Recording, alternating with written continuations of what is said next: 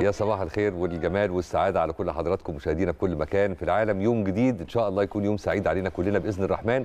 وكمان إن شاء الله حضراتكم تسعدوا معنا بمتابعتكم لينا في حلقتنا النهاردة اللي عندنا فيها كلام كتير جدا قوي خالص بصفة خاصة عن ماتش امبارح. صباح الفل عليك. صباح الهنا يا كريم. صباح النصر زي ما إحنا متعودين. ظاهر إن شاء الله أو يعني أنا متفائلة جدا إن الموسم ده بإذن الله هنيجي في كل ماتشات الأهلي نقول صباح النصر لأن فعلا أداء بيبقى رائع جدا ونتيجه اللي إحنا متوقعينها. يعني أنا سعيدة جدا وعندي موقف كمان قبل ما نبدأ بقى الحلقة عايزه أحكيه لك امبارح. تحديدا. امبارح أنا كنت في مكان يعني في كافيه مع أصدقائي بنتفرج على المباراة. طبعا ناس كتيرة جدا كانت متواجدة. ماتشات الأهلي يعني ما تلاقيش كامل العدد. كرسي آه بجد. ما تلاقيش كرسي في كافيه. لازم تحجز قبلها. إحنا فاهمين الكلام ده. آه المباراة خلصت والأهلي فاز. عايزه أقول لك إن هم ال waiters الناس اللي بتشتغل يعني في الكافيه ده هم عارفيني طبعا بيتابعوا البرنامج ومعظمهم أهلاوية. ما كانوش عايزيني أدفع التشيك امبارح. يا سلام يا يعني سلام. هو يا علشان سلام، الأهلي. فاز فيقولوا لي لا يا أستاذة عشان الأهلي وبتاع بس طبعا أنا ما رضيتش يعني بس اللمسة عجبتني طبعاً، يعني آه فاهم طبعاً. لما حد يكون من كتر حبه في النادي الأهلي أي حد تبع. النادي الأهلي عايزين يعني يسعدوه وعايزين يعملوا له أي حاجة فيعني. عجبتني جدا امبارح. وحتى أصحابي كانوا قاعدين قالوا اشمعنى انت جولي أنا مخصوص مش أصلا قالوا الترابيزة كلها فكانت طبعا بص الحاجات دي بتحصل كتير يعني بجد والله دي مش أول مرة تحصل يعني قلت لك أنا على حاجة تقريبا كانت من سنة برضو آه، طلبت حاجة أونلاين وكانوا عايزين يبعتوها لي ببلاش عشان بشتغل في النادي الأهلي أو من حبهم برضو في النادي الأهلي بصوا هي حاجات ممكن تبان للبعض أو قصص بسيطة بس بالنسبة لي هي معناها كبير جدا لما حد يكون بيحبك لهذه الدرجة عشان أنت طبعاً، بتمثل طبعاً. النادي اللي هو طبعاً. بيحبه أو بيشجعه فأكيد يعني حاجة مش مش موجودة كتير بصراحة على كل حال خلينا ننوه يا كريم بقى في الحلقة إن شاء الله معانا ضيوف مختلفة ومعانا كمان ملفات مختلفة النهاردة. صحيح الملف الأول اللي هنفتحه في أولى فقراتنا الحوارية هتكون بحضور الناقدة الرياضية دعاء بدر وطبعا هنتكلم معاها عن آخر مستجدات الألعاب الأخرى. حضراتكم عارفين زي ما بنهتم بكرة القدم بنهتم كمان بإن إحنا نعرف حضراتكم واول بأول كل المستجدات في دنيا الرياضات الأخرى. دي الفقرة الأولى. الفقرة الثانية هيكون معانا فيها حديث مطول عن آه، طبعا ماتشات الأهلي مش بس الماتش اللي فات. ما هو قادم كمان. ده الملف اللي هنفتحه مع طبعا ضيفنا اللي هينورنا في هذه الفقرة وكمان هيكون معانا الأستاذ سليمان النقره الناقد الرياضي وأحمد السعداني المحلل الكروي وحديث بقى مطول. حول النادي الأهلي وبصفة خاصة ماتش امبارح. وماتش امبارح كان نقدر نقول عليه إن هي كانت ليلة تألق حسين الشحات وكل لعيبة النادي الأهلي ده عنوان مناسب جدا لمباراة الأمس في أولى مواجهاتنا الإفريقية في دوري أبطال إفريقيا أمام سان جورج الإثيوبي. هدفين للشحات زي الفل. الأول جه من assist زي الفل هو كمان من إمام عاشور والتاني من assist لا يقل عنهم جمالا من كهربا وبطبيعة الحال ترجمهم حسين الشحات لأهداف ولا أروع. الهدف الثالث كان للعيب أحمد عبد القادر اللي نزل نقدر نقول كده زي بالتعبير البلدي الدارج نزل عفرة الدنيا وعفرة الأجواء وعفرة الماتش. وزي ما اتكلمنا كتير قبل كده مع حضراتكم إن الحكاية مش حكاية فوز وبس. مش ده اللي بندور عليه دايما كجماهير النادي الأهلي. لو حتى الفوز ما اتحققش لا سمح الله لأي سبب من الأسباب نتيجة غياب الروح أو تحمل المسؤولية أو التركيز من كل اللاعبين ده بقى اللي الناس بتقف عنده كتير وبتبقى متضررة جدا. إحنا مش بنهتم بالنتيجة بقدر ما بنهتم بحضور روح الفانيلا الحمراء وكانت حاضرة وبقوة الحقيقة وشفناها منعكسة في أداء ممتاز من كل اللعيبة. ودي الحاجات اللي بتحول يعني النهاية لنهاية سعيدة بفوز مستحق بأداء ممتع بتكتيك دفاعي وهجومي مميز يعني حاجة جميلة جدا الحقيقة كمان آه، يعني لازم نقف برضو عند إمام عاشور اللي يعني مستواه الحقيقة آه، لافت جدا للأنظار وإن شاء الله يكون إضافة فعلا 10 على 10 في squad النادي الأهلي الفترة اللي جاية ماتش رائع يعني. ماتش كان جميل جدا صحيح. ويعني كمان عايزة قبل ما نتكلم عن آه، أهمية الفوز لازم أتكلم شوية زي ما أنت اتكلمت عن الأداء الأداء اللي أسعدنا جميعا. بتتكلم عن فعلا جملة هجومية منظمة لكل اللعيبة واللعيبة كمان تحس إن هي قارية بعض يا كريم. في كيمستري حلوة جدا في. الملعب. هي دي روح النادي الأهلي اللي كانت بالمناسبة في فترة ما مش موجودة أو في بعض المباريات مش موجودة. عندك مساحات مقفولة كانت صح جدا على المنافس. عندك شكل للفريق بجد يفرح. الأداء كان يبسط كمان أي مشجع كرة قدم خلينا نقول مش بس الأهلاوية. فبجد في يعني لا في تألق رائع جدا وبداية موفقة جدا. عايزة بقى أتكلم عن أهمية الفوز دلوقتي. أهمية الفوز لو أنت هتتكلم لا هو ليه كمان أبعاد كتيرة جدا. إنك بدأت الدوري وبدأنا كمان دوري أبطال أفريقيا لجانب طبعا آه، دوري السوبر الأفريقي اللي هيكون في نسخته الأولى واللي هينطلق إن شاء الله الشهر اللي جاي. وأول ماتشاتنا هتكون مع آه، سيمبا التنزاني لو أنا. مش غلطانة بالظبط. وكلها ماتشات أعتقد مهمة جدا وبطولات مهمة جدا. وبرده كالعادة خلينا نقول يعني لقب آه، كل بطولة أنت بتلعب فيها مهم. مفيش بطولة أنت عايز تفقد اللقب بتاعها. بالعكس انت عايز تحافظ على الألقاب اللي عندك وتزود عليها. طبعا. فمهم جدا كمان إن أنت تحافظ على لقب الدوري تحافظ على لقب دوري أبطال إفريقيا تكسب كمان لقب أول نسخة للدوري السوبر ليج. يعني بص أنا أعتقد إن كل ده محقق جدا مع كولر بإذن الله الفترة اللي جاية. أنا هرجع أقول تاني أنا من الناس اللي شايفة الراجل ده بجد راجل فاهم جدا كورته حلوة جدا التطوير حاصل في النادي الأهلي ال chemistry حلوة جدا. فلو يعني لو حد يختلف مع الكلام اللي أنا بقوله ده خلينا يعني نعرف بس بجد الناس كلها أجمعت بجد طبعاً، كولر طبعاً. صاحب فكر وصاحب نظرية رائعة جدا مبين على الأداء. وبتبان كمان يعني في لقطات كده معينة زي بعد نهاية ماتش امبارح وهو بيتوجه للج- للجمهور وهو اللي بيسقف لهم وهم بيبادلوه التحية والتسقيف والاحترام. لا الناس مقدرة الشغل اللي هو عامله وفاهمين كويس قوي إنه حقيقي ليه انعكاسات بالظبط. طيبة وايادي بيضاء على الشكل الحلو اللي كلنا بنشوفه وبنسعد بيه في الفترة أنا الأخيرة. بتفق معاك. على كل حال خلينا نروح نشوف دلوقتي تصريحات كولر ونرجع نكمل. فماتش يعتبر ماتش الذهاب فده بيسهل ماتش العودة dass der Gegner ja auch dann was tun muss, wenn sie sich qualifizieren wollen. الماتش الجاي هيبقى المنافس عايز يعمل حاجة ويبدأ يهاجم وياخد مخاطرة عشان خاطر لو عايز يتأهل Aber es gibt dann äh, natürlich eine gewisse Sicherheit, wenn du äh, quasi auswärts 3-0 بتبقى gewonnen hast. تبقى برضو عندك بعض الأمان والثقة لما بتبقى كسبان بره أرضك 3-0 اتكلم اللعبه ايه عن بدايه المشوار طبعا بطوله مهمه جدا يمكن احنا راجعين شويه قفلنا صفحه السوبر بطوله افريقيه وبدانا بطوله جديده اكيد بدوافع جديده بحوافز جديده عند اللعيبه Wir haben sie dann mit den Spielern gesprochen, dann am Anfang eines neuen Wettbewer- Wettbewerbs, dann wir haben dann mit Supercup, dann Meisterschaft, jetzt dann ein ganz neuer Wettbewerb.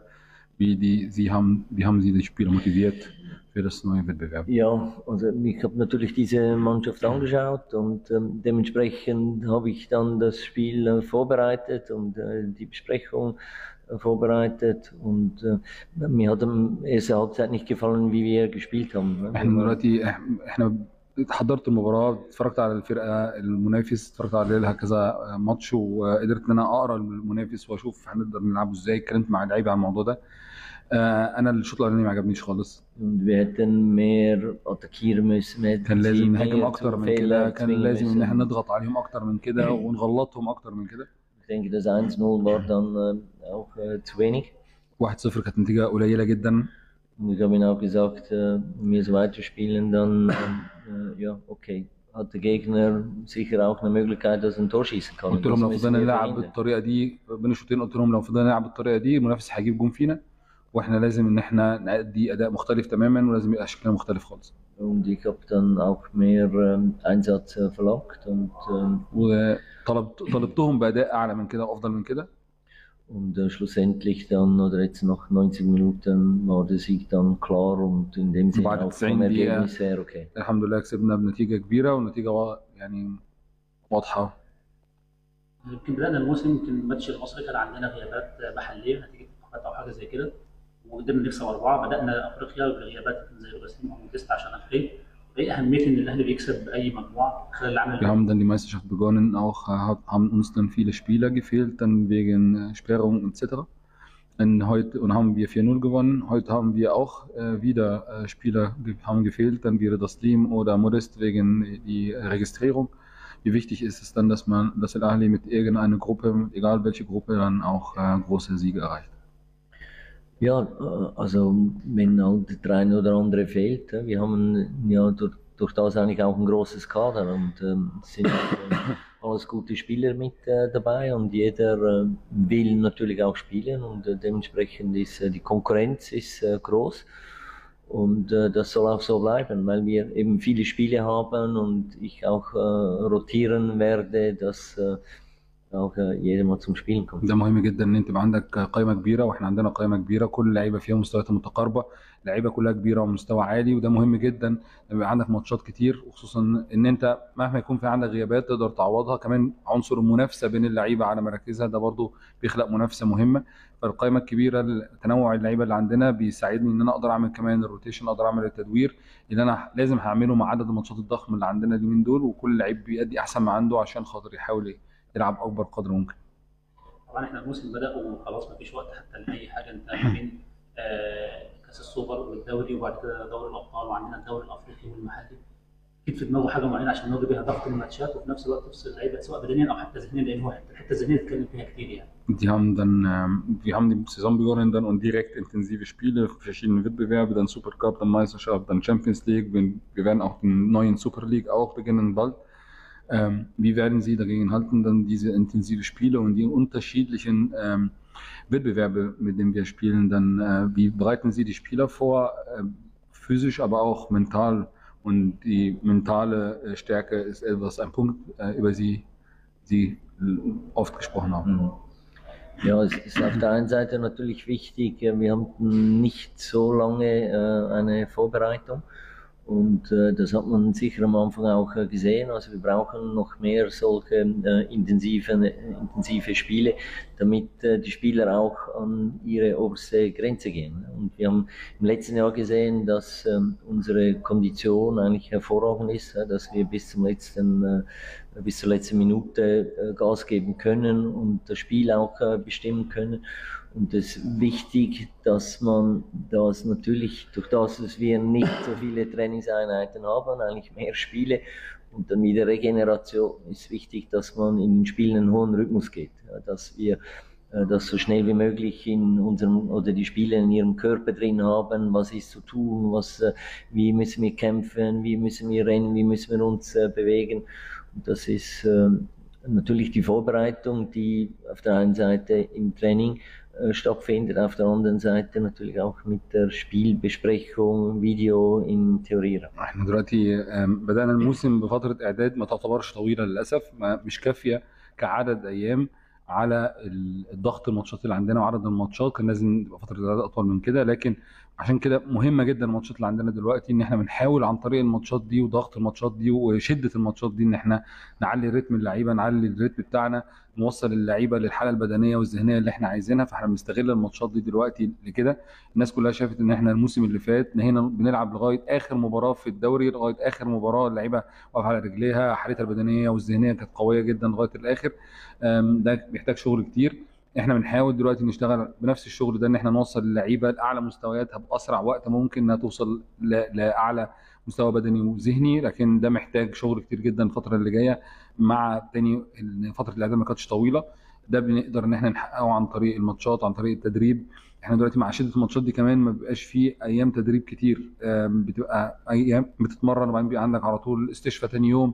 وهكذا. لكن إحنا بنحاول قدر الامكان إن إحنا نوصل اللعيبة لأعلى مستوى ممكن بدني وذهني ونفسي بأسرع وقت.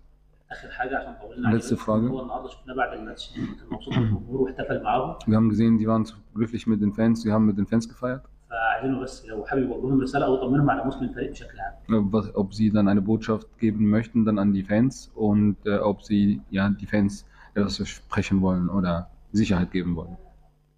Nein, ich freue mich natürlich, dass, ähm, dass die, die gekommen sind, uns äh, unterstützt haben.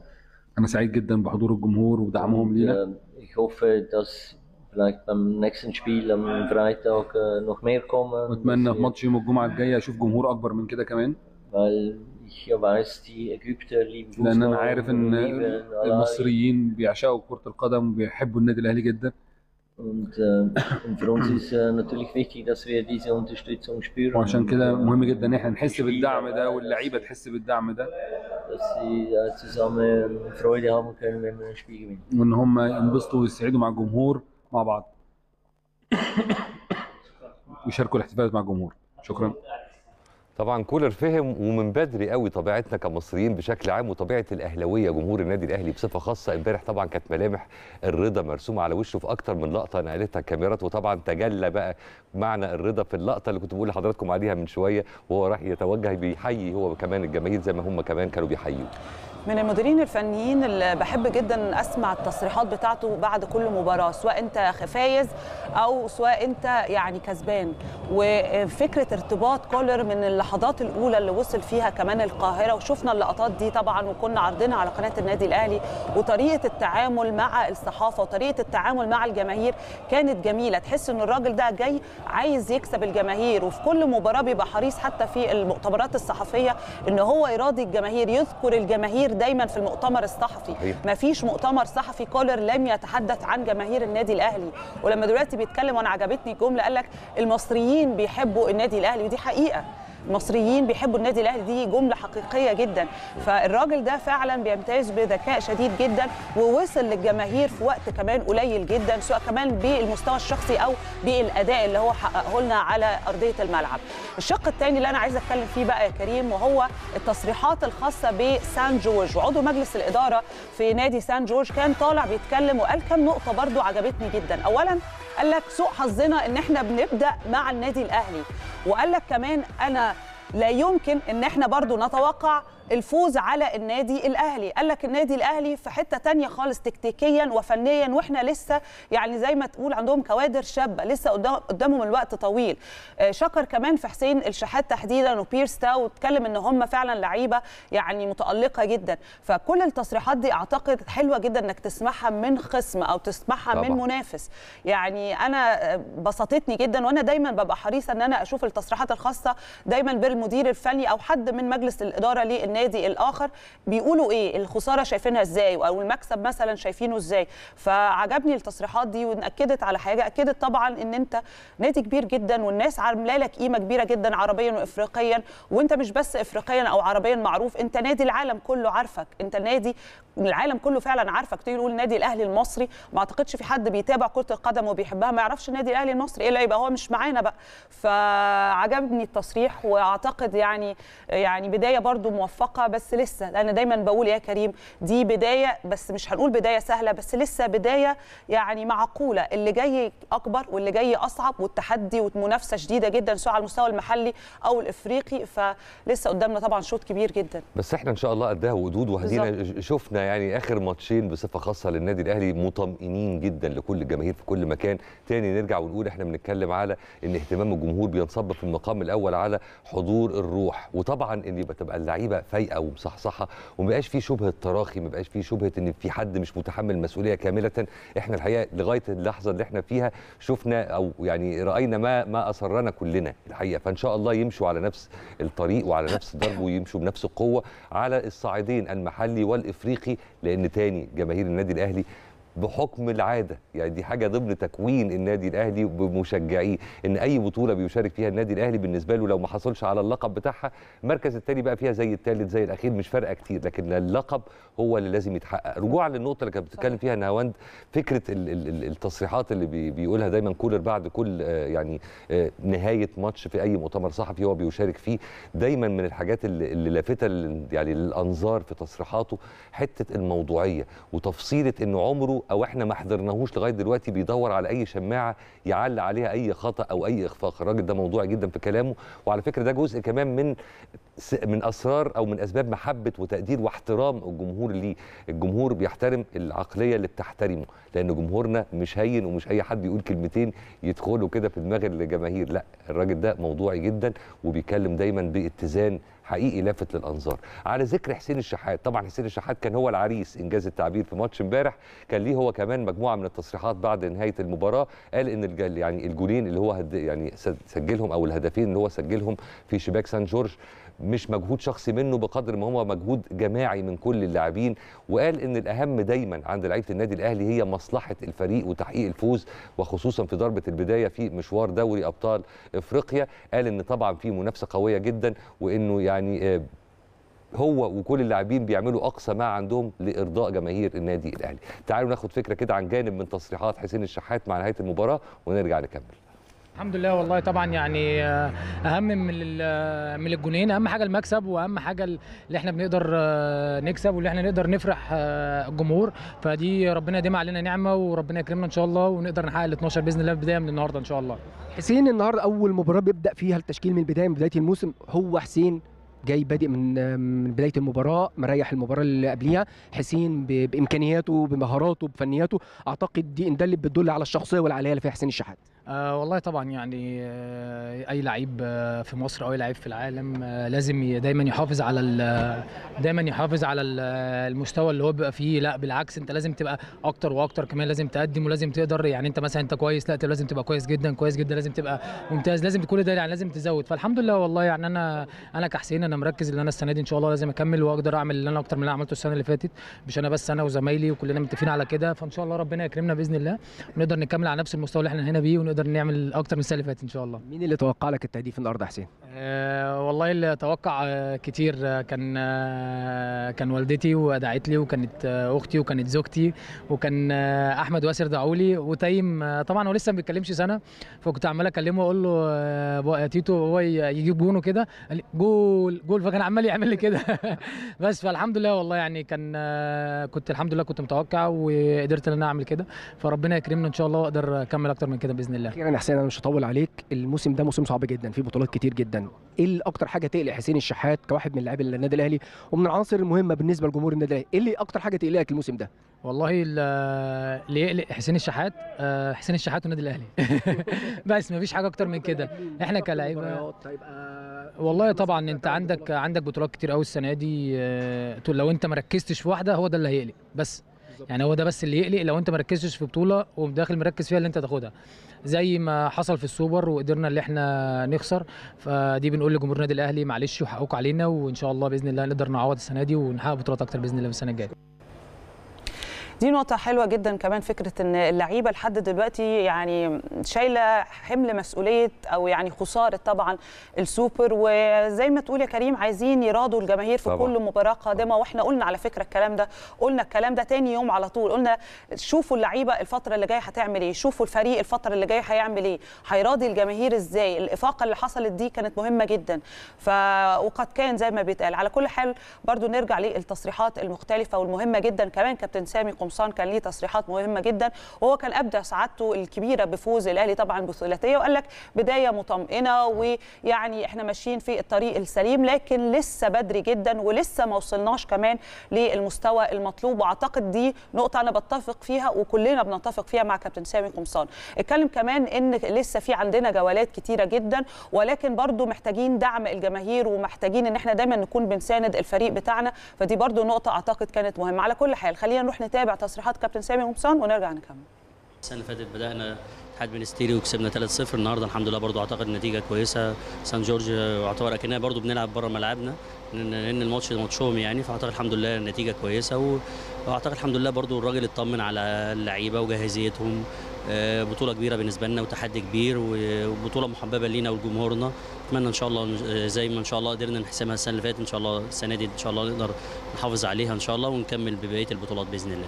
يمكن هو دايما الراجل بيتكلم في النقطة دي اللي أنت يعني أنت عايش معانا فترات كبيرة جدا إن الراجل دايما بيتكلم إن ال- ال- الماتش الموجود الماتش الحالي يعني هو أهم ماتش بالنسبة لنا يعني.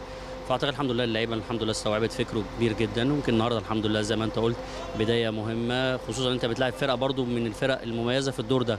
يعني أنت تلاعب فرقة سان جورج يعني أعتقد فرقة عندها تاريخ كبير في ال في, في الأدوار ديت وتحقق مفاجآت وعلى طول في بطولة أفريقيا. فأعتقد الحمد لله إن أنت تحقق المكسب دوت والأداء ده أعتقد الحمد لله دي حاجة إيجابية الحمد لله نقدر نبني عليها إن شاء الله.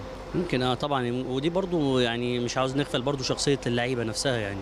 لعيبة النادي الأهلي بتقدر المسؤولية بشكل كبير جدا مسؤوليه جمهورهم مسؤولية إن هم بيلعبوا نادي بي- بيلعب على كل البطولات اللي بيلعب عليها بيحارب عليها. يمكن كان في دروب حصل ويمكن أعتقد يعني ما كناش في يومنا وما كانش في أحسن ما كانش في ما كناش في أحسن حالة يعني لكن آه الحمد لله النهارده بترجع تاني و- وتقوم تاني وتقدم أداء مميز جدا على المصري والنهارده بتكمل. إن شاء الله الفترات اللي جاية تكون أحسن وأحسن لينا وإن شاء الله نقدر نعوض البطولة دي ببطولات أكتر إن شاء الله. آه زي ما أنت قلت طبعا آه كان مه- مهم جدا إن إحنا كنا فترة كبيرة جدا ما عملناش فترة إعداد وما خدناش إجازة. لكن الحمد لله كان ساعدنا المعسكر دوت زي ما أنت قلت في إن أنت تعمل إعداد كويس واللعيبة تخش آه، يبقى فيها انسجام و زي ما انت زي ما انت قلت مثلا إمام من اللعيبة المميزة جدا اللعيبة الدولية اللي بتقدر ومش غريب عن لعيبة النادي الأهلي يعني خصوصا في المنتخب إن هو بيخشوا الفرقة بالسرعة ديت والأداء ده والأداء دوت. أعتقد برده كان المعسكر ساعدنا شوية بنفس نفس القصة بالنسبة لرضا سليم برضو من اللعيبة المميزة واللي قدر في وقت قصير يبقى يخش الفرقة بشكل كبير. يمكن دي بتعمل منافسة النهارده. بتشوف حسين الشحات ما شاء الله النهارده بيعمل أداء مميز. أحمد عبد القادر بينزل بيعمل أداء مميز. قفشة فأعتقد كل ما يبقى عندك حلول أكتر بيبقى في منافسة أكتر ويبقى طبعا في صالح الفرقة كل ده يعني. وزي ما زي ما بقول لك وكل مرة بقول لك إن إحنا بنفكر كل وقت في وقتها يعني كل مباراة وكل بطولة في وقتها. إحنا دلوقتي في بطولة أفريقيا فكل تفكيرنا إن إحنا إزاي نقدر نوصل ونعدي الدور بعد كده نفصل في الدوري وبعد كده نفصل في الكاس. فخلينا ماشيين زي ما إحنا ماشيين واحدة واحدة إن شاء الله آه، بنفس التحدي ونفس الروح ديت. والعامل الأكبر بقى اللي بيساعدنا أكتر النهارده يعني جمهورنا طبعا. بشكره طبعا على الحضور وأتمنى إن شاء الله بقى الفترة الجاية يكون في زيادة أكتر وأكتر بإذن الله. طيب تابعنا مع حضراتكم التصريحات المختلفة. تعالوا بقى نروح لموضوع مختلف حبتين. هنتكلم شوية عن منتخب مصر الأول اللي الحقيقة اللي طبعا للسيدات بقيادة محمد كمال اللي جدد فوزه مرة كمان على منتخب جنوب السودان بأربعة أهداف دون رد في إياب التصفيات المؤهلة لبطولة كأس الأمم الإفريقية. واللي حصل إن كان منتخب مصر للسيدات نجح قبل كده في إنه يحقق الفوز في مباراة الذهاب وبنفس النتيجة. الحقيقة يعني المنتخب ماشي بخطوات كويسة جدا جدا وزي ما بننتقد السلبيات في بعض الأحيان لازم كلنا نشيد بأن الحقيقة في اهتمام كبير بمنتخب السيدات والكرة النسائية في الفترة الأخيرة وبشكل ملحوظ وعشان كده أهو بيبقى بيؤتي ثماره زي ما بيتقال. عموما تعالوا نتعرف على المزيد من التفاصيل من كابتن محمد كمال اللي منورنا على التليفون وهو المدير الفني لمنتخب مصر للسيدات. يا كابتن صباح الفل على حضرتك واهلا بيك معانا في 10 الصبح في الأهلي. يا صباح الفل يا أستاذ كريم وصباح الفل على الجميلة نهاوند وبشكركم على على الدعم بتاعكم يعني للكره النسائية. لا شكر على واجب لا شكر على واجب. وبداية الكلام مليون مبروك وطبعا عايزين نعرف من حضرتك إحنا كده طبعا ماشيين بشكل كويس جدا الحقيقة لكن إحنا عايزين نعرف إحنا فاضل لنا كام ماتش لحسم التأهل بقى عشان الطمأنينة تتحقق بدرجة مليون في المية. هو الحمد لله إحنا يمكن آه، نتيجة الشغل إحنا مش مش وليده آه، آه، ماتش واحد. إحنا أكيد. بنشتغل قبلها بسنة ونص سنتين. الملف ده كان مقفول بقاله ست سنين تقريبا. ما كانش حد بيهتم بالكرة النسائية ولا المنتخبات وكنا بعيد خالص عن المشاركات الأفريقية لدرجة إن إحنا كنا بره التصنيف. فبدأنا نشتغل على المباريات الودية ونلعب مباريات ودية في الفيفا ديت ونشتغل ونطلع جيل تاني اللي طبعا حضرتك عارف ان 2016 في أكيد جيل اختفى من اللعبة. وبدأنا نشتغل على جيل جديد. إحنا ناقص لنا مباراة واحدة. هي دي مباراة مهمة جدا جدا مع السنغال الفائز من السنغال وموزمبيق. الماتش الأولاني خلص بين الاثنين في السنغال واحد واحد. الماتش إن شاء الله يوم الثلاث بينهم في العودة في موزمبيق. اللي كسبان هو ده اللي هنلعبه. ودي الخطوة الأخيرة اللي هي تخلينا نوصل إن شاء الله في المغرب كأس أمم أفريقيا المغرب شهر 5 2024 بإذن الرحمن. وإن كانت الجملة اللي حضرتك تفضلت بيها من النوع الحزين ان في جيل كامل اختفى من اللعبة دي. بص يا كابتن محمد اولا يعني خليني أقول لك أنا سعيدة جدا على المستوى الشخصي إن أنا بسمع إن إحنا عندنا كرة قدم نسائية وابتدت دلوقتي الأندية المختلفة كمان تدخل هذه اللعبة عندها في الأندية والأندية الكبرى ومنهم طبعا النادي الأهلي. وفكرة كمان إن أنا يبقى عندي لاعبات آه، يجي منهم بشكل كبير جدا ويبقى مستقبل كمان إلى حد ما ممكن يكون مضمون. وأنت عندك كمان مصريات وحضرتك طبعا عارف ده أكتر مني في مصريات محترفات كمان في الخارج في أندية كبرى فالبوتنشال موجود والقدرة موجودة والموهبة موجودة لكن للأسف ما يمكن ما كانش فيه اهتمام بشكل كبير في الفترات والسنوات السابقة. أنا خليني أقول لحضرتك ما تعرف المعلومة دي ولا لأ بس أنا من عشاق كرة القدم كنت بلعب كورة وأنا صغيرة كمان زمان مع كابتن سحر الهواري في نادي الطيران. يعني يعني أنا من الناس اللي بحب جدا جدا وبسعد جدا لما بسمع عندنا لاعبات وعندنا اهتمام بالرياضة دي تحديدا. بس خليني برضو أبقى صريحة مع حضرتك إحنا لسه بعيد شوية كمان عن مش هقول أوروبا إحنا لسه بعيد شوية عن بعض الدول ال- يمكن من التوب 10 دلوقتي المغرب منتخب المغرب. فطمنا على الفترة اللي جاية يا كابتن محمد. قول لنا الدنيا هتمشي إزاي عشان برضو الناس دلوقتي تتابع وتبقى فاهمة إحنا فين في الملف ده. طيب هو حضرتك قلتي كلام مهم جدا جدا. وأنا كده هتكلم مع آه، لعيبة كرة قدم يعني؟ فكده يبقى الكلام هيبقى أسهل وأسرع. اولا إحنا إحنا طبعا من أيام دكتورة سحر طبعا كل التقدير وال- وال- والعرفان باللي عملته في بداية اللعبة ودخولها إنما للأسف هي كانت بتحارب لوحدها فترة طويلة جدا مع مختلف مجالس الإدارات. صح. آه، ب- يعني ما كانش الإيمان باللعبة موجود عند المسؤولين للأسف. وده اللي أخرنا كتير جدا جدا. وجينا فترة كمان كانت أصعب وأصعب من 2016 إحنا بعدنا خالص عن المشاركات وكل ما نشترك في بطولة لا نعتذر نعتذر نعتذر. فده طبعا أخرنا وفي دول بدأت تطلع وتكبر وتخش في الرانكينج خلاص يعني حطت رجليها يعني. صح. فإحنا عشان نحارب تاني إحنا كنا لازم نعمل مجهود مضاعف. من أول الأستاذ أحمد مجاهد لما جه في اللجنة الثلاثية وبدأ يحط إيده على الملف وبعدين الأستاذ جمال علام والدكتورة دينا الحقيقة اجتهدوا جدا جدا في الملف ده. بدأنا نحط إيدينا وبدأنا نشتغل مع بعض وبدأنا عايزين ننجح وعايزين ن- لأن ما يصحش. صح. اسم مصر كبير جدا جدا ما يبقاش كل الدول بتشارك الدول العربية والدول الأفريقية بتشارك وإحنا قاعدين نتفرج عليهم ففي غيرة يعني لازم يبقى عندنا غيرة. زي ما حضرتك قلتي واتفضلتي إن عندنا أكتر دلوقتي من 14 لعيبة محترفه بين الجامعات الأمريكية والدوريات الأوروبية وسنهم صغير وثقافة الأسرة كمان اختلفت إن هم يلعبوا و- و- والبنت تسافر والبنت تلعب. صح. ما كانش الثقافة دي موجودة. حتى الموجودين دلوقتي في الأندية في مصر كمان القرار بتاع الاتحاد الأفريقي إن لازم يجبر الأندية إنها تنشئ بالظبط. كرة قدم. وده اللي هيعمل فارق يعني هو ده أعتقد اللي هيعمل فارق. أكيد طبعا والنادي الأهلي كمان عامل يعني لما النادي الأهلي القيمة الكبيره والاسم الكبير لما يعمل فريق كرة قدم نسائيه أكيد معلش يعني أكيد أغلب الأندية هتمشي على حذو هذا النادي اللي هو بالنسبة لهم قدوة ومثل. وده المطلوب. بالظبط فاللي أنا عايز أقوله إن كمان في على فكرة بالمناسبة يعني عندكم برضو خبر كده في عندكم لعيبة اسمها كاميليا الديب دي لعيبة النادي الأهلي 2004 هي مواليد 2010 بس أنا معايا في منتخب تحت 20 سنة. البنت دي لعيبة واعدة جدا جدا برضو أنا بقولها لكم يعني على أساس قناة الاهلي ودي موجودة لعبت معايا ماتش في المغرب اللي كسبناه 3-1 وماتش تاني كسبناه 1-0 تحت 20 سنة. فعندنا كوادر وعندنا بنات متميزات جدا. والنادي الأهلي أكيد هيبص على ال- ال- الملف ده باهتمام لأن اسم النادي الأهلي كبير. فأكيد هيدعم ويبدأ يشتغل على الأكاديميات ويبدأ يكتشف مواهب ثانية بالظبط. إن شاء الله أنا شايف طفرة كبيرة في اللعبة. يا رب فعلا ده يحصل. ولو تعثرتوا في أي لاعبة أنا موجودة. يعني مواليد ده آه مواليد 98 يعني تلعب تحت سن 14 مستريح مع ما أنا كنت فرود والله يا كابتن محمد. آه والله. طب عايزه أقول لك على حاجة. والله دورة المتحدة لو حضرتك تابعتها في رمضان أنا اللي جبت جون الفوز عشان تبقى عارف. يعني حطوني احتياطي لو في أي ان قناة النادي الأهلي تهتم معانا معسكر برضو عايزين نطمن من حضرتك على يعني ال squad الحالي إلى أي درجة حضرتك بتطمن إن إحنا نقدر ناخد بيه أو من خلاله بطولة إفريقيا؟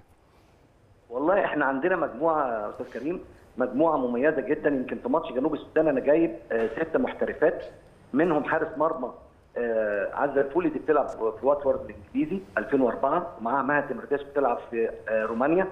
جايب سامي آدم بتلعب في النمسا سارة اسماعيل بتلعب في أسبانيا سارة عصام بتلعب في إنجلترا.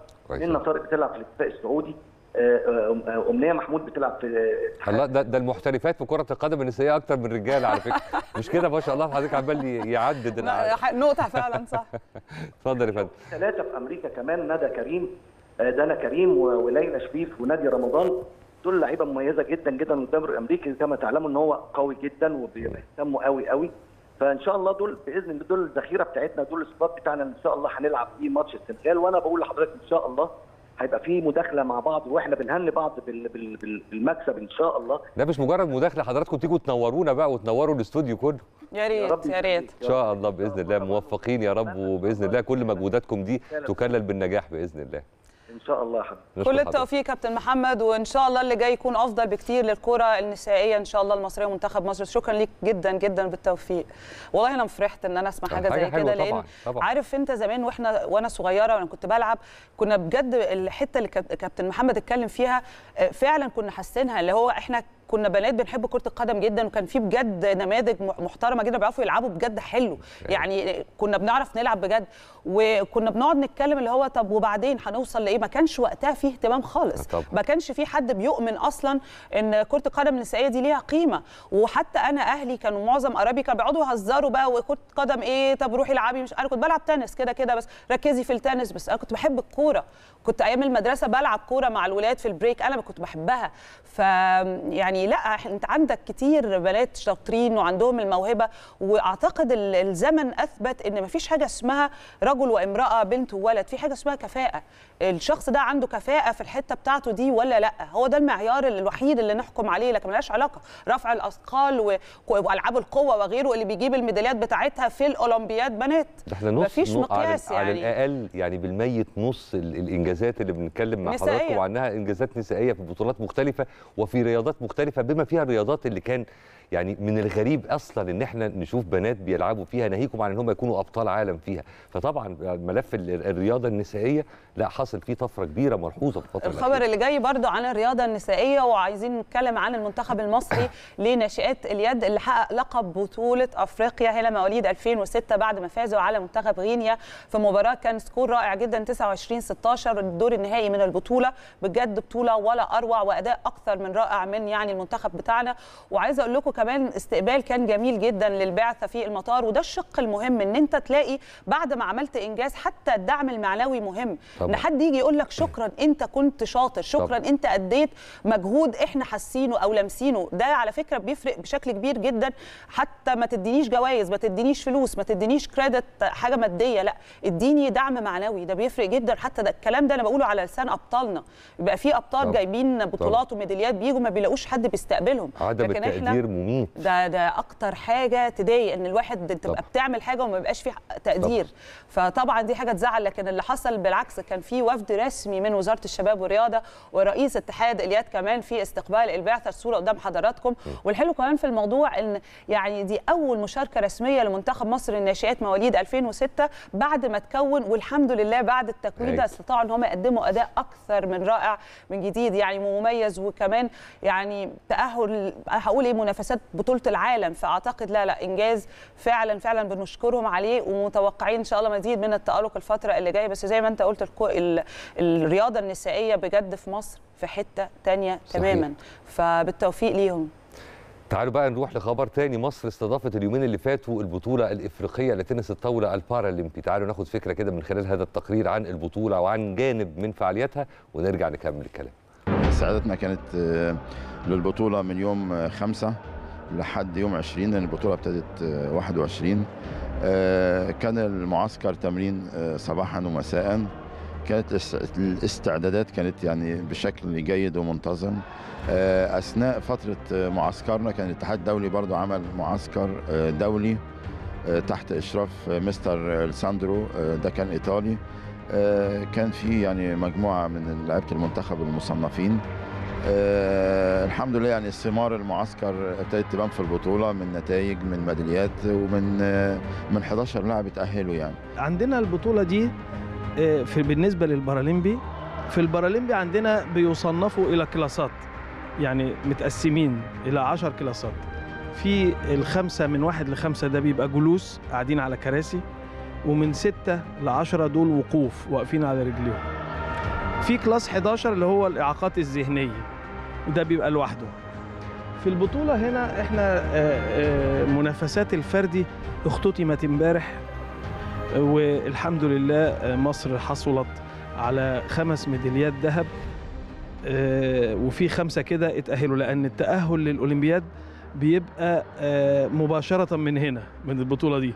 اللي بيطلع الأول في الكلاس بتاعه بيتأهل على الأولمبياد مباشرة. أنا سعيد جدا بهذه البطولة أنها بتقام هنا في مصر. ويعني الشكر لكل الفرق المشاركة. النهاردة أنا سعيد جدا وصلنا آه، آه، إيميل بالشكر للاتحاد المصري والاتحاد الأفريقي من رئيسة الاتحاد الدولي بيترا سيرلينج السويدية إن البطولة دي منقولة على اليوتيوب من أول لحظة لغاية آه، الختام. مش مصدقين روعة التنظيم والملعب بجماله. وبكل التسهيلات الموجودة فيه بالذات لفئات الإعاقة الحركية.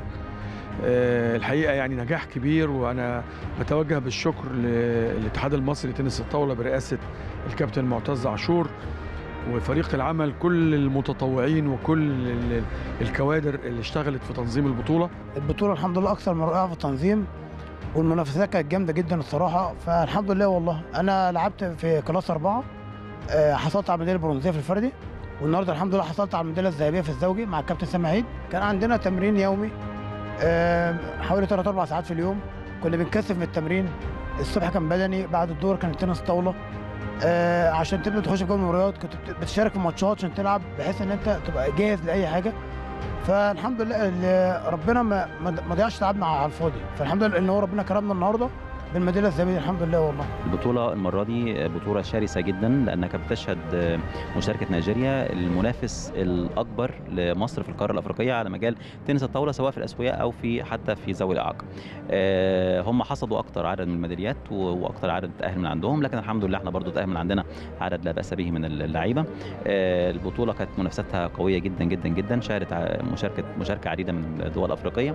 آه، قدرنا يعني الحمد لله يعني ب- مؤهل اللي فاز بالميداليه الذهبية حوالي آه، خمس لعيبة ولكن المؤهلين فعليا إن شاء الله حوالي 11 لا- لاعب ولاعبه تنظيم حلو جدا آه، أنا بطل تنس طاولة class أربعة ناشئين وسيدات آه، بلعب تنس طاولة وأنا عندي ست سنين دلوقتي عندي 16 آه، البطولة دي كانت جامدة جدا وتعبنا جدا. وتنظيمها حلو وحتى بنلعب في بلدنا يعني لازم يعني نطلع لعبنا والحمد لله حققت مركز أول أنا فايزة في الزوج السيدات. والفردي طلعت من دور الثمانية بصراحة البطولة أصلا في تنظيمها أكثر من روعة وصالة فخر لمصر جميعا. صالة مجهزة لكل الاحتياجات الخاصة حمامات من صالة من كل كله بصراحة فخر لمصر بصراحة صالة حسن مصطفى. هي بطولة كانت صعبة جدا جدا وكان فيها منافسين من نيجيريا ومن المغرب ومن جنوب أفريقيا من كينيا والكلام ده يعني. الحمد لله أنا لعبت أصلا في المج... في TT 3 آه لعبت مع كان معايا واحد زميلي من آه، من مصر وواحد من ال- المغرب. الحمد لله خسرت أول ماتش وبعدين كسبت بتاع بتاع المغرب وبعدين بعد كده خدت عهد على نفسي في كل الماتشات اللي جاية بعد كده. ما اكلمش أي حد خالص. أخش على الطاولة عيني على الكورة وعيني على الحكم بس عشان ما ما أخرجش عن شعوري وحاجة زي كده أو عشان أوصل للهدف اللي أنا عايزه. الحمد لله طبعا شعور ما يتوصفش في كلام بصراحة. آه، كان حلم كبير. ويعني بنجهز له من زمان والحمد لله سبحانه يعني سبحان الله جت في الوقت اللي إحنا كنا كلنا فعلا خلاص يعني يعني تعبانين ومستنيين فيه نفرح. فالحمد لله رب العالمين آه، بقيت أول افريقيا واتأهلت. ويا رب إن شاء الله بتمنى للجميع يعني التوفيق وبإذن الله نتأهل مع بعض. تنظيم البطولة على أرض مصر أكثر من رائع طبعا في صالة حسن مصطفى في ال 6 أكتوبر. طبعا البطولة هايلة أوي وجاي فيها دول كتير. أول مرة يشارك عدد كبير من الدول دون والحمد لله. أنا الحمد لله حصلت على ثلاث ميداليات ذهب لسه الثالثة جايبها دلوقتي يعني قبل ما تسجلي معايا. فجبت ميدالية في فردي امبارح. الحمد لله اتأهلت لأولمبياد باريس 2024 والنهاردة الزوج أنا وعبد الرحمن عبد الوهاب جبت ميدالية وأنا وهناء. الحمد لله الميدالية الثالثة لمصر. ربنا كرمني بمسابقة الفردي. وحصلت على الميدالية الفضية. كنت يعني كسبان ال- اللاعب النيجيري 2-1 بس ما فيش حظ الحمد لله. والنهارده في مسابقة ال- الزوج رجال آه، قدرنا أنا والكابتن سيد نكسب فريق النيجيري. كسبناهم 3-0 ويعني مستنين بإذن الله التأهل آه، في مسابقة الدبل آه، في الأولمبياد بإذن الله.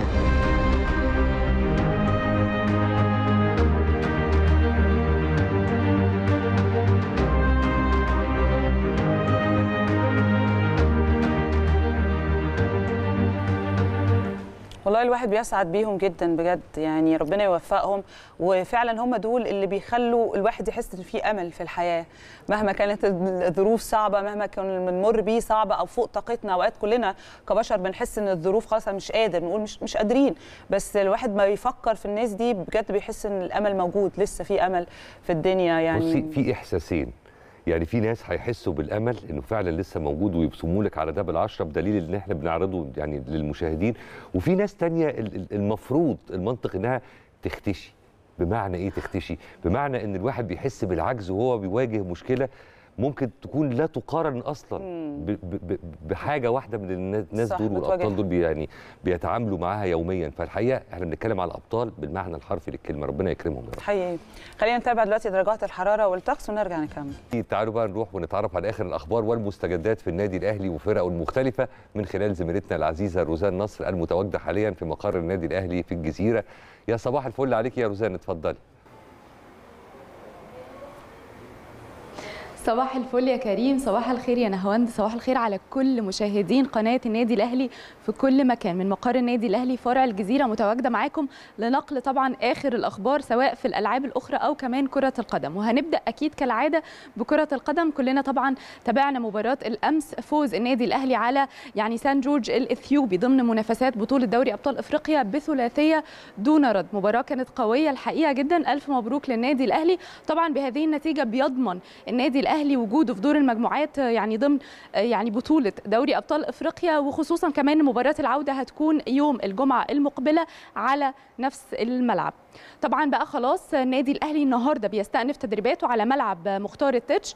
التجمع هيكون الساعة 5 والتدريبات هتكون الساعة 6 تحت طبعا قيادة مارسيل كولر هتكون طبعا تدريبات شاملة تدريبات بدنية وفنية متنوعة. سلسلة الفوز مستمرة ولكن بقى سيدات سلة الأهلي يعني يحققوا الفوز على فريق السكة الحديد بنتيجة 47 ل 29 ضمن مباريات الجولة الثانية من بطولة منطقة القاهرة لكرة السلة. من سيدات يعني سلة. الأهلي كمان لرجال السلة واللي حققوا المركز الرابع في بطولة كأس العالم للأندية لكرة السلة المقامة حاليا في سنغافورة. قدم الفريق طبعا أداء مميز جدا ومشرف برغم تأثره بالمجهود البدني الكبير. طبعا بعد خوضه ثلاث مواجهات قوية جدا ولكن بنبارك للفريق ولكل الجهاز الفني على طبعا ادائه المشرف في هذه البطولة. يعلن النادي عن إقامة أربع حفلات بمناسبة المولد النبوي الشريف. طبعا كل عام وحضراتكم بألف خير سواء بقى بمقر النادي بالجزيرة أو فروعه الثلاثة تبدأ طبعا أول الحفلات بمقر النادي هنا بالجزيرة يوم 27 سبتمبر ويحييها المنشد الديني أحمد العمري وتقام أمام الشاشة الرئيسية بالنادي في تمام الساعة الثامنة مساء. فيما طبعا يقام الحفل الثاني بفرع مدينة نصر يوم 28 سبتمبر يعني وده هيكون كمان تحديدا عند ال food court في تمام الساعة التاسعة مساء ويقام بقى الحفل الثالث والرابع يوم 30 سبتمبر. هيكون في فرعي الشيخ زايد الساعة الثامنة مساء أمام الشاشة الرئيسية وفي نفس التوقيت هيكون في فرع القاهرة الجديدة الحفل الرابع والأخير هيكون كمان أمام الشاشة الرئيسية. طبعا يعني سريعا كده عن أجواء النادي الأهلي هنا. طبعا كلنا ملاحظين انخفاض في درجات الحرارة فده مخلي الأعضاء متواجدين بشكل كبير جدا في الفرع ودي كانت أبرز وأهم الأخبار اللي معايا النهارده. شكرا لكم وعودة لكم مرة ثانية إحنا اللي بنشكرك على التغطية الممتازة دي كالعادة يا روزان شكرا جزيلا ليكي. يعني هو انخفاض درجات الحرارة مش بس بتخلي الأعضاء تروح أو يعني يبقى في تواجد أكبر طبعا لكن كمان الحياة بترجع والله. الروح بتترد لسه لما تبتدي تندع كمان وأول آه. حبات مطر تنزل تغسل النفوس والقلوب. يا سلام يا سلام. ده بالنسبة لنا. يا سلام لكن في ناس بيجي لها اكتئاب في الشتاء أنا مش قادرة أفهم إزاي. والله العظيم ما قادرة أفهم إزاي. موضوع عايز حلقة. قال لك لو لولا اختلاف الأذواق لبارت السلع صحيح. فطبيعي إن الناس بس في حاجات ما عليهاش اختلاف يعني بحس كده أوقات بس يعني مش مهم. عارفة اللي خلى ناس بتبقى مش حابة الشتاء قوي إيه؟ إن إن في الكام سنة الاخيره بقى الشتاء قاسي قوي وقارس قوي عن زمان. طب ما الحر كمان كده. ما بس ما تفهميش هم محب الصيف ما بيطلعوش براه يعني ما بيشوفوش غيره الحقيقة.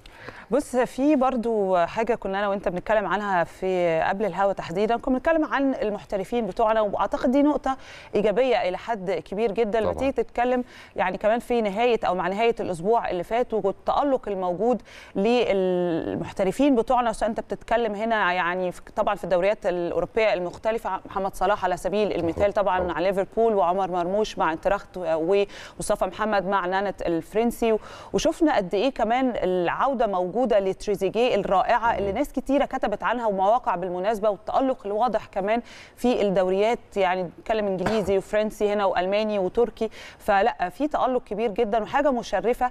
وفي نفس الوقت بيبقى انعكاس جيد للكرة عندنا. يعني لما تيجي تلاقي في بعض المصريين محترفين في الخارج بيبقى انعكاس شوية. طبعا ده مش مقياس أساسي لكن بيبقى برضو انعكاس إلى حد ما إن البلد دي بتطلع محترفين البلد دي فيها بوتنشال نتمنى طبعا الوضع يختلف في الفترات والسنوات اللي جاية. لكن آه، تحديدا لو هتكلم يوم الخميس اللي فات في الدوري الأوروبي بجد محمد صلاح كان متألق جدا جدا مع ليفربول وسجل طبعا في الفوز بثلاثية على حساب الفريق النمساوي وبدأ صلاح كمان المباراه زي ما شفنا من على البدلاء أو قاعد يعني مقاعد البدلاء وبمجرد ما نزل يعني صنع الدنيا. وسجل يعني هدف تاني وتالت عشان يحقق أول مكسب بقى لليفربول كمان بتتكلم خارج إنجلترا في الدوري الأوروبي وشفنا كمان تألق بشكل كبير جدا امبارح في فوز كمان ليفربول في الجولة الستة من الدوري الإنجليزي وبصوا غيره وغيره بس اللي يتابع بجد المحترفين بتوعنا وتحديدا طبعا محمد صلاح يسعد جدا بالمستوى اللي أصبح عندنا دلوقتي وأتمنى الخبرة دي يعني نستفيد بيها في المستقبل حتى لو اللاعب ده انتهى أو انتهت حياته في الملاعب الخبرة اللي عنده ما تروحش بقى لأوروبا أتمنى إن هي يعني نستفيد بيها في الداخل. ده دايما الكلام اللي أعتقد يعني المفروض يكون موجود عندنا لكن للأسف يا كريم مش حاصل حتى هذه اللحظة. يعني ما شفتش حد أو قلائل جدا من المحترفين بتوعنا في الخارج اللي جم بعد كده آه، آه، نقلوا الخبرة دي في الداخل سواء بتكلم عن قاعدة ناشئين أو فريق أول أو غيره. يعني أنا أعتقد لازم يكون في استغلال أكتر للعيبة دي بالخبرات اللي عندهم العالمية اللي إحنا محتاجين ده الفترة اللي جاية. لو أنت بتتكلم عايز نقلة في كرة القدم يعني لأن إحنا محتاجين ده فعلا. يعني صحيح. الوضع الحالي مش صلاح. أفضل شيء. مصر تستحق مستوى تاني تماما. محمد صلاح بصفة خاصة الحقيقة يعني تنطبق عليه كل صفات ومواصفات الأيقونة آه، الشخص الملهم يعني حقيقة إحنا بنتكلم على رياضي استثنائي ومشرف بكل ما تحمله كلمة مشرف من معنى. اللاعب الثاني اللي برضه الحقيقة لفت جدا الأنظار في الفترة الأخيرة وبيسجل حضور مهم جدا عمر مرموش اللي نجح مع فريقه انتراخت فرانكفورت الألماني في طبعا أول مباراة في دوري المؤتمر الأوروبي يوم الخميس اللي فات سجل هدف في فوز فريقه بهدفين طبعا ساهم في فوز الفريق بهدفين مقابل هدف وطبعا ساهم في فوز فريقه على منافسه الإسكتلندي. وماشي الحقيقة بشكل جيد جدا جدا في الدوري الألماني. اللاعب الثالث هو مصطفى محمد اللي فرض اسمه بمنتهى القوة في الموسم الحالي مع فريقه نانت الفرنسي لعب مع الفريق ست ماتشات حتى هذه اللحظة في الدوري الفرنسي سجل فيهم خمس أهداف. ده معدل ممتاز جدا. وخصوصا لما يكون مع فريق من أندية الوسط. فريق كان بينافس على الهروب من الهبوط في الموسم اللي فات. سجل مصطفى محمد كمان آخر أهدافه أول امبارح ليبقى في المركز الثاني في ترتيب هدافي الليجا الفرنسية طبعا خلف النجم الكبير مبابي. كمان حمدي فتحي الحقيقة لاعب لاعب الوكرة القطري سجل أول أهدافه امبارح وساهم هو كمان في فوز فريقه بثلاثية نظيفة. بنتمنى لهم كلهم كل التوفيق. طبعا كل محترفين المصريين وأكيد كمان كل التوفيق بنتمناه لنجم الدوري التركي ونادي طرابزون سبور محمود تريزيجيه اللي رجع من الإصابة الأسبوع اللي فات.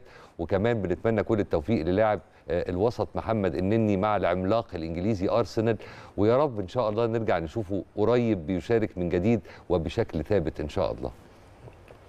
طيب إحنا هنختم بقى الفقرة الخبرية الأولى مع حضراتكم ب videograph هنشوف فيه يعني إيه أكتر أو إيه اكبر الهزايم اللي مرت على برشلونة؟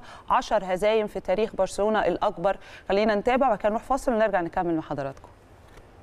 مرحبا بحضراتكم. خليني أبدأ كده كلامي بالحديث عن ملف الألعاب الأخرى اللي إحنا متابعينه بشكل كبير جدا تحديدا كمان في 10 الصبح في الأهلي. وفي بطولات كتيرة شاركنا فيها وحققنا كمان إنجازات زي ما أتكلم مثلا كرة اليد السلة المصارعة تنس الطاولة بطولات تانية كمان بنستعد ليها في الفترة اللي جاية. عن آخر بقى إنجازات الألعاب الأخرى خلينا نرحب بضيفتنا العزيزة جدا الاستاذه دعاء بدر نائب رئيس تحرير الأهرام أبدو.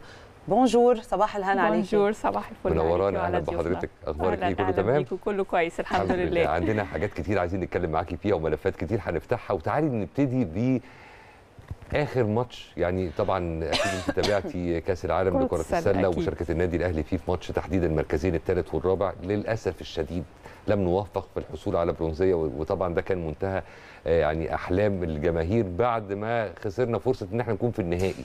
فعموما شفتي البطولة دي إزاي؟ وشفتي أداء ومشاركة الأهلي فيها إزاي؟ بشكل عام بداية بداية البطولة كانت مبهرة لينا كلنا الحقيقة. الأهلي ظهر بشكل جميل جدا في أول مباراة بالأخص. كانت آه، شكل الفريق في الملعب آه، مختلف تماما كأننا بنتفرج على فريق محترف مش فريق محلي. و- ودي حاجة الحقيقة اسعدتنا وطمعتنا في نفس الوقت. طبعاً، يعني هو إحنا طمعنا طبعا طبعا المركز الرابع نتيجة هايلة في أول مشاركة للأهلي في في بس ناس كتير قالت ما كانش ليها لازمة الهزيمة دي لأن كمان المنافس ما كانش يعني ده حقيقي. الماتش الأخير كان أسهل يعني. ماتش على فكرة. طبعا. يعني ف... يعني الماتش الأخير كان أسهل بكتير آه. من أول آه، مباراة. الماتش كان في متناول ايدينا كنا نقدر نكسبه طبعا بسهولة جدا. بس خلينا برضو ناخد بالنا ان الفريق لعب ماتشات ورا بعض كتير. يعني هو كان بيلعبوا كل يوم وكان فرق ساعات قليلة جدا بين كل مباراة ومباراة.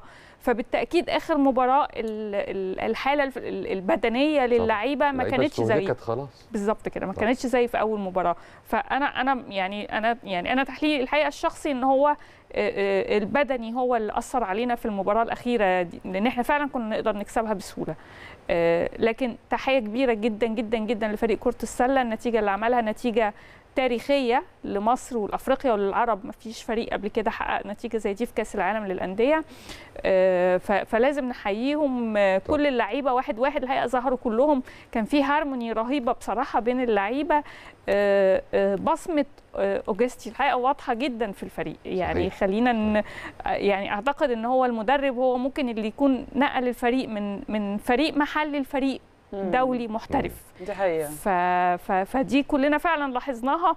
ما أعرفش هو لما لعبوا بره مصر كمان ال- الوضع اختلف معاهم ولا إيه لكن آه، واضح ال- الحماسة كمان كانت بين اللعيبة آه، كبيرة جدا وعالية جدا. آه، كل ده مع بعضه عمل كده حاجة حالة حلوة يعني كلنا انبسطنا بيها. بصي بقى يا أستاذة أنا عايزة أتكلم معاكي عن بطل بطل بصراحة وبالاسم لأن إحنا عندنا قائمه كبيرة جدا وكل شوية عمالين نسمع تأهل يعني بطل مصري وبطلة مصرية للأولمبياد والبارالمبياد كمان. فأعتقد حاجة أسعدتنا جميعا ولسه طبعا الأسماء يعني في تزايد. بس هبدأ معاكي بفكرة بيج رامي لأن سمعنا إن هو مش هيشارك أصلا النسخة دي. فعندك أي تفاصيل إيه سبب عدم المشاركه في الغالب الحقيقة إن هو يعني شايف هو شايف إن هو في حاجات دلوقتي أهم في حياته وبيفكر في الاعتزال. هو أصلاً. حتى أعلن يعني كده يعني. الكلام اللي كان داير ده فعلا حقيقي ده حقيقي. هو هو أعلن ده في تصريحات تلفزيونية. هو قال أنا بفكر في الاعتزال في الفترة الجاية وبفكر أشوف أفكر في الحاجات اللي جاية بشكل مختلف شوية. يعني هو عنده مشروع خاص بيه وهو هو مشروع رياضي برضه يعني. فأعتقد إن هو محتاج آه، حابب إن هو يركز بس فيه هو أكتر. عمره لسه يعني صح؟ آه، طبعا. آه لأ وهي كم يعني لعبة كمال الأجسام هي لعبة مش آه، ملهاش عمر يعني مش من الألعاب اللي ليها كبر في السن أو حاجة لأ خالص يعني. لكن هي بتاخد مجهود مختلف شوية لأن مم. هي بتاخد إعداد مختلف شوية خاص ببرامج تغذية صعبة وشاقة. مش مش حاجة سهلة برضو. فأعتقد إن هو في في حاجات آه، إداها أولويات في حياته تانية وأعتقد إن إحنا قريب هنسمع قرار اعتزاله أعتقد يعني. يعني شايفة إلى أي درجة اعتزال بيج رامي ممكن يفتح المساحة قدامنا الفترة اللي جاية؟ فرصة عظيمة. أنا شايف إن المساحه هتفضى. صح هتفضل صح. طيب تعالي نروح بقى لكرة اليد وناشئات. كرة اليد والحقيقة عملوا برضو game هايل قدام غينيا. وفازوا ببطولة أفريقيا. برضو رؤيتك إيه لل- لل- لل squad ده تحديدا؟ مبدئيا كرة اليد يعني إحنا دايما بنقول عليها هي يعني صاحبة الفرحة والبهجة لينا. يعني إنجازاتهم مش بس إنجازات آه، محلية أو أفريقية هي إنجازاتهم إنجازات عالمية كمان. آه، الفريق ده الحقيقة دي أول مشاركة ليه. إحنا أول مرة نشارك في البطولة دي بطولة الس- السن ده. أيوة. آه، فإن إحنا في أول مشاركة نعمل إنجاز بالشكل ده آه، طبعا مفاجأة كبيرة. إحنا ما كناش عارفين الحقيقة إحنا هنعمل إيه. يعني إحنا رايحين ما شفناش برضو الفريق ما استعدش بشكل كافي. وأول مشاركة لينا فمش عارفين الفريق هيعمل إيه لكن الفريق بصراحة فاجئنا كلنا طبعا. آه، آه، فاز في كل مبارياته في الدور الأول آه، بفرق score كبير كمان هو مش بس بيفوز. لا ده بيفوز أو أوقات ب double score يعني فدي حاجة. طبعا كبيرة قوي. آه، خلص الدور الأول في المركز الأول بعد كده دور دور ابتدى إن هو كل مباراة بيفوزها لغاية ما وصل للنهائي وفاز برضو بالنهائي وهو مستريح. ما, ما كانش. يعني ما فيش منافسة تقريبا ما كانش في حد بينافسه في البطولة. آه، بنحييهم تحية كبيرة جدا. طبعا المنتخب ده آه، بيطمنا على مستقبل كرة اليد في أكيد، مصر. أكيد. آه، بيطمنا على مستقبل كرة اليد النسائية اللي كانت بتعاني كتير الحقيقة. لازم نخلينا عارفين إن إحنا ما كانش عندنا منتخب أول للكرة النسائية لغاية من سنة فاتت. ف ودي حاجة كانت دايما بت... بتزعلنا إن وليه ده إحنا كان حاصل أصلا؟ كان الاتحاد شايف إن آه، ما عندوش لعيب لاعبات آه، يقدروا ينافسوا في المستوى بتاع المنتخب الأول. يعني هو كان بيشارك في منتخب الناشئين والشباب لكن ما كانش بيشارك في المنتخب الأول. فكان قرار من الاتحاد الحقيقة. لحد الحمد لله ما قريب الاتحاد قرر إنه هينشئ المنتخب والحمد لله حقق نتائج كويسة جدا في أول مشاركة. و... وأنا شايفاها خطوة هل كانت مسألة. بادجت ولا كانت أصل يعني طالما أنا عندي ناشئات كويسين يبقى أكيد كفريق أول ما أعتقدش هيبقى فيه مشكلة إلا لو في أزمة في البادجت جت على حساب البنات. لا هي مش أزمة في البادجت هي اختيار صرف البادجت فيه. الأولويات. آه آه يعني هم شفتي بقى أنا فهمتها إزاي؟ آه، هو يعني هو هو وجود فريق أو منتخب أول في رياضة ما مش المفروض يكون من ضمن قائمة الأولويات ما كانش على رأس القائمة أصلا. صحيح بس هما كان ليهم حسبة مختلفة شوية إن هما بيركزوا في الفرق اللي عندها فرص تحقق نتائج كويسة. قرار أنا مش بشوف إن ده قرار صح طبعا. يعني مم. إحنا مش بنوافق إن إن ده قرار صح لكن هو كان اختيارهم كده. آه، حصل ضغط كتير من اللاعبات الحقيقة خصوصا إحنا عندنا لاعبات محترفات في كرة اليد بيلعبوا بره حصل ضغط من الإعلام المصري وكانت النتيجة الحمد لله إن الاتحاد في الآخر قرر إنه يعمل المنتخب وفي خطوة متأخرة كتير جدا لكن الحمد لله إنها هي اتخذت يعني. نتكلم بقى عن آه، طبعا المصارع المصري عبد اللطيف آه، منيع والبعض كمان قال لك ده كرم جابر يعني آه، أو شبهوه بالمسيرة وتوقعوا له نفس المسيرة. طبعا هو تأهل لأولمبياد باريس وأعتقد برضو ده خبر رائع جدا. كلمينا بقى عن المصارعة وعن فرصنا كمان بالأبطال اللي تأهلوا.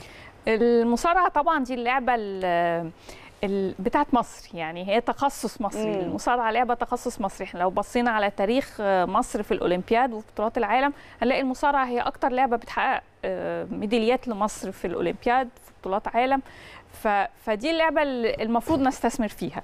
آه عندنا لعيبة كتير الحقيقة غير عبد اللطيف. عبد اللطيف طبعا بطل كبير جدا حقق نتيجة كويسة قوي.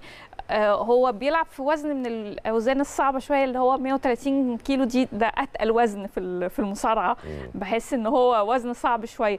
آه، يعني مش هو مختلف شوية طبعا عن كرم جابر لأن كرم جابر لاعب مهاري بيعتمد على مهارته أكتر وفنياته آه، آه، وده في الأوزان اللي هي اللي كان بيلعب فيها كرم جابر 96 لكن ال 130 ده وزن تقيل شوية آه، المهارة فيه أقل شوية من من وزن 96 يعني يعتمد إحنا على قوة أكتر يعني. آه ده بالظبط كده بيعتمد على القوة أكتر يعني الأوزان الأخف دايما بيبقى المهارات هي ال هي ال ال اللي بتحكم في الآخر ال- مين اللي يفوز؟ آه، ال- الوزن طبعا 130 فيه مهارة طبعا لكن لكن المهارة ما بتبانش قوي زي في الأوزان. آه، الخفيفة. بالظبط. يعني إحنا. نقدر نقول ضامنين ميدالية مثلا في المصارعة بإذن الله؟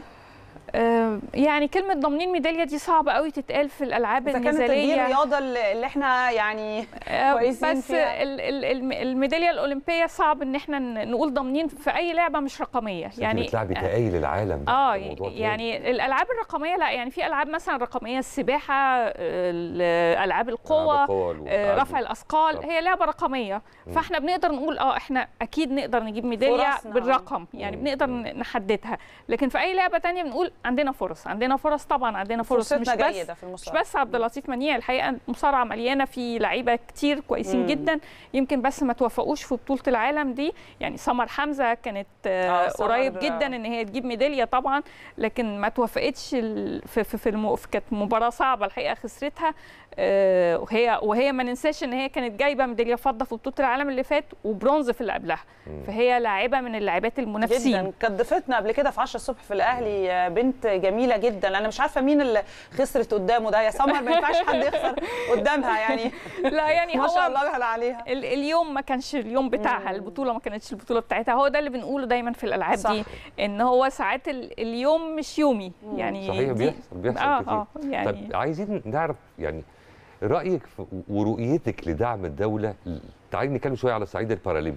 تمام؟ وإحنا عندنا أبطال بارالمبيين من قديم الأزل. أي بعثة بارالمبيه مصرية بتشارك في أي دورة أولمبية أو بارالمبيه بيرجعوا شايلين ومحملين صحيح. 50 مليون ضعف البعثة الرسمية لل- لل- لل- للمنتخب الأولمبي مش البارالمبي صحيح.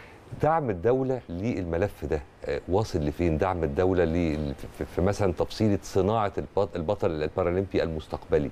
واصلة لفين الأمور؟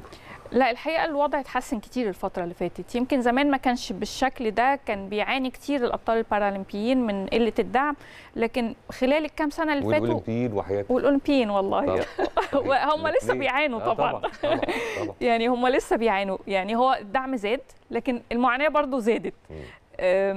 يمكن طبعا ال ال ال الوضع الاقتصادي للبلد مش للبلد للعالم كله. هو وضع اقتصادي على العالم كله ارتفاع الدولار بشكل كبير.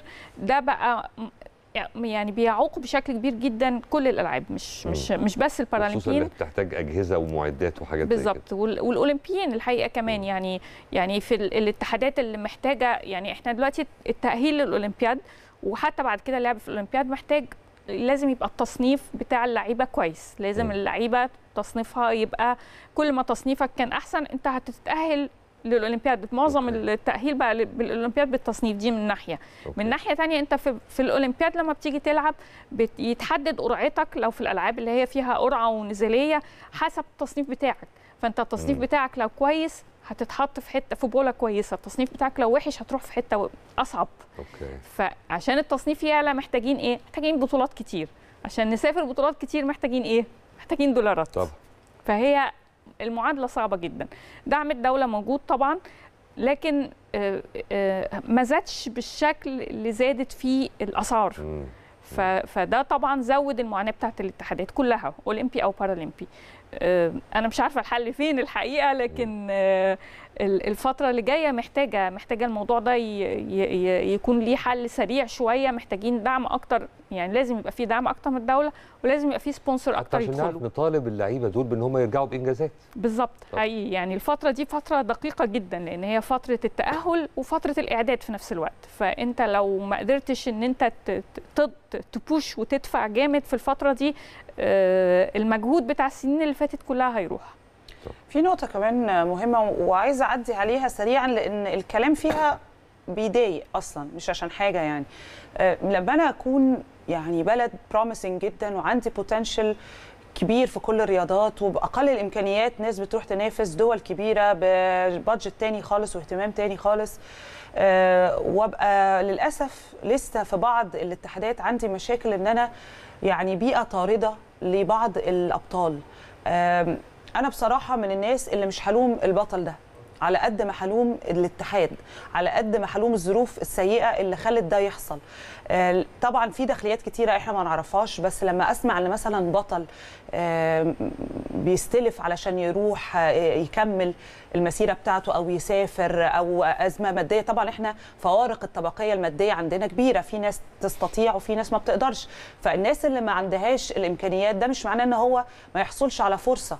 فللأسف الشديد ده بيحصل كتير وللأسف الشديد بتبقى في بعض الأحيان بعض الاتحادات بيئة طاردة للأبطال بتاعتك وأزمة أنا أتمنى ما أعرفش حلها فين بصراحة بس أتمنى يتم القضاء عليها يعني سريعا لأن اللي بيدفع الثمن في الآخر هو آه، المصريين أو الجماهير المصرية. فبتيجي في الآخر تقول هو أنا ليه ما بوصلش وأنافس دول كبيرة و... وأنا ليه ب... وناس تقعد على فكرة بالمناسبة لو حضراتكم فاكرين السنة آه، في وقت طوكيو من أربع سنين آه، الناس كتير طلعت قعدت تتريق على المستوى اللي البعثة المصرية وصلت له. صح ولا غلط؟ لو حضراتكم فاكرين ده حصل. صحيح. فالناس دي بقى أصلا يعني أنا ما أحبش أرد عليها خالص لأن مهما كان أنت الشكل اللي ظاهر بيه أو المستوى اللي أنت واصل ليه دي بلدك. ما ينفعش ابدا تقلل منها. بس بس حاجة في الأول وفي الآخر تزعل. هو أنا ليه هنا؟ طبعاً. أنا ليه مش هنا؟ هو أنا ما أقدرش؟ يعني الواحد نفسه حتى لو أنا ما أقدرش دلوقتي خليني أمشي في الخطوات اللي توصلني فوق بعد كده. لكن محلك سر ده صعب جدا. ف طبعا هي دي حاجة من الحاجات اللي بتحز في نفسنا. يعني إحنا لما بنلاقي لعيب مصري خرج يلعب باسم بلد تانية دي حاجة بتزعلنا طبيعي ده ده, ده شيء طبيعي. آه، بس خلينا نفرق في نوعين. في نوع آه، ال- الألعاب الفقيرة هي في ألعاب فقيرة وفي ألعاب غنية. خلينا نبقى متفقين على ده. آه، في ألعاب اللعيبة فيها مستوى الاجتماعي بتاعهم قليل. فالفكرة بالنسبة لهم هم بيدوروا على حياه أفضل. الألعاب الفقيرة دي تقصدي بيها إيه؟ آه، هنلاقيها مثلا زي ألعاب المصارعة. هي أكتر لعبة يمكن فيها فيها فيها فيها كتير لعيبة بيهربوا. آه، هم اللعيبه لسه حاصل من أقل من لسه شهرين. آه آه إحنا واللاعب بدون كل شهر ذكر اسمه للأسف. ظهر في مجموعة مم. فيديوهات نهاوند قال كلام. لا حاجة تزعل لما يكون واحد لسه جايب لك ميدالية ذهبية في بطولة أفريقيا واخد درع البطولة. ورجع ولقى إن المكافأة بعد ما يتخصم منها مش عارف ضريبة. قد إيه تبقى 4000 جنيه وعلى وعد بإن هيبقى له راتب شهري 600 جنيه ولا 700 للأسف. جنيه. وبيقول لك أنا أبويا بيستلف عشان يصرف عليه كلام يوجع لك القلب يعني. صحيح صحيح. هم هم هم مش طلباتهم مش كتير. هم طالبين يبقى إن هم هم بالنسبة لهم الرياضة آه، دخل. يعني هي بالنسبة لهم الرياضة شغلانة بتاعتهم طبعا. هو بيلعب رياضة. آه، لقى إن هي يعني هو ما بيشتغلش عشان خاطر إن هو لقى الرياضة هتجيب له فلوس آه، آه، ويا هيشتغل في الرياضة يا يدور على شغلانة تانية صحيح فلما عرف إن الرياضه سكة كويسة وتقدر تجيب له فلوس فلو ما كناش هنوفر له إحنا الفلوس هو هيبتدي يدور عليها بره يعني هي. في دي دي دي نوعية ال- ال- ال- اللعيبة اللي هم الرياضه بالنسبة لهم شغلانتهم طب ما في الفترة الأخيرة يا أستاذة يعني واضح إن فيه اهتمام من الدولة بال بالأبطال عموما وبالرياضات كلها والمفروض إن حصل على حسب ما سمعنا إن هيبقى فيه طفرة في الميزانيات اللي هتروح وهتتوجه لل- للاتحادات المختلفة بما يعود بالنفع على وجود كم أكبر من الأبطال المصريين بارالمبيا وأولمبيا. إيه اللي حصل في الموضوع ده؟ يعني إحنا ليه لغاية النهارده وإحنا بقالنا سنين بنتكلم تقريبا في نفس ال... هم نفس الجملتين اللي بنقولهم. موضوع الموارد. وانعدام الموارد ونعمل إيه. عشان ننمي. الموارد إلى آخره. هنفضل نهري كده قد إيه لا في الغالب هنفضل على طول يعني العمر بيجري يا أستاذ العمر بيجري في الغالب هنفضل على طول بس خلينا ن- ن- ن- نوضح حاجة إن إحنا يعني إحنا لو بصينا كده خلال الكام شهر اللي فاتوا هنلاقي هو اتحاد واحد هو اللي خرج منه اللعيبة كلها يعني يعني الاتحاد هو اتحاد المصارعة يعني مم. عشان يبقى كلامنا واضح أيوة. ما نعممش كمان الكلام مم. آه، آه، ال- نفس المعاناة اللي بيلا- بيعانوا منها لعيبة المصارعة بيعانوا منها لعيبة رفع الأثقال لعيبة الملاكمة في ألعاب مم. كتير لكن ليه الاتحاد ده هو أكتر اتحاد بيخرج منه اللعيبة أكيد في مشكلة تانية غير مشكلة الفلوس يعني دي. حاجة لازم نقف نقطة عندها كويسة. يعني مشكلة الفلوس دي موجودة في الاتحادات في في معظم الاتحادات آه، ولكن لكن ليه دول فواضح إن هم عندهم مشكلة في التعامل مع اللعيبة. واضح إن يعني كل الهربانين قال لك عندنا مشكلة في الفلوس وفي عدم التقدير. آه بالظبط كده. يعني هو لا تقدير مادي ولا تقدير معنوي حتى. فيمكن هي دي بقى اللي لازم دي اللي نقف عندها صح. ونشوفها فين. يعني ونشوف مش ونشوف لازم حل لازم يكون ليها حل. لأن إحنا كمان لو نفتكر لعيبة المصارعة اللعيبة الكبار بتوع المصارعة واللي لسه بيلعبوا باسم مصر آه، قبل أولمبياد طوكيو كان منهم كيشو اللي راح جاب لنا ميدالية أولمبية. كانوا عاملين آه، زي إضراب وكانوا عاملين مم. آه، على ال social media حملة كبيرة آه، ضد الاتحاد. فده معناها إن في مشكلة موجودة بين اللعيبة وبين الاتحاد. لازم المشكلة دي يكون ليها أنا بتفق معاكي جدا بصراحة لأن تاني هنرجع نقول في الأول وفي الآخر بيدفع الثمن هي الجماهير بالزبط. المصرية. طيب ال- الوقت بيجري وقبل ما يعني الوقت كمان آه، بتاع الفقرة يخلص أنا عايزة أسألك عن قصة هنا يعني الأبطال بتوعنا اللي رايحين. هل إحنا بنتكلم إحنا رايحين بجاهزية مثلا 80% 70% 50% عشان بس الواحد والساده دلوقتي المتابعين يبقوا يطمنوا على أولمبياد باريس وبارالمبياد باريس. إحنا رايحين بأي جاهزية مش بس إن إحنا بنتأهل. هل إحنا فنيا ومعسكرات وكل حاجة جاهزة؟ هل إحنا معنويا يعني كله وماديا أيضا؟ يعني خلينا نطمن منك.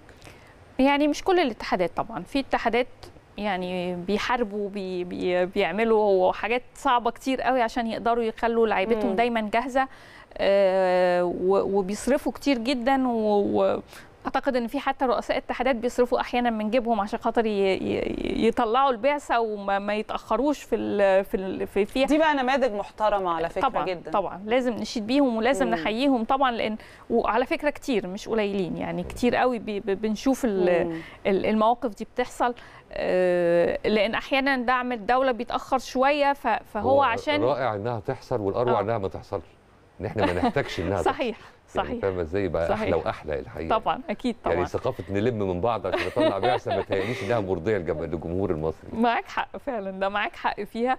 لكن آه، هم بيضطروا يعني هم طبعاً، آه آه طبعاً. هم بيضطروا بيبقى التوقيت ضيق. أنت لازم ت...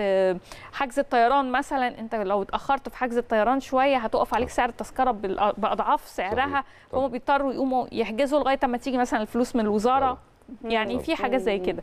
آه، السبونسر دخل الحقيقة في الاتحادات آه، آه، خلال الكام سنة اللي فاتوا يمكن فرق شوية لكن ما فرقش بالشكل الكافي.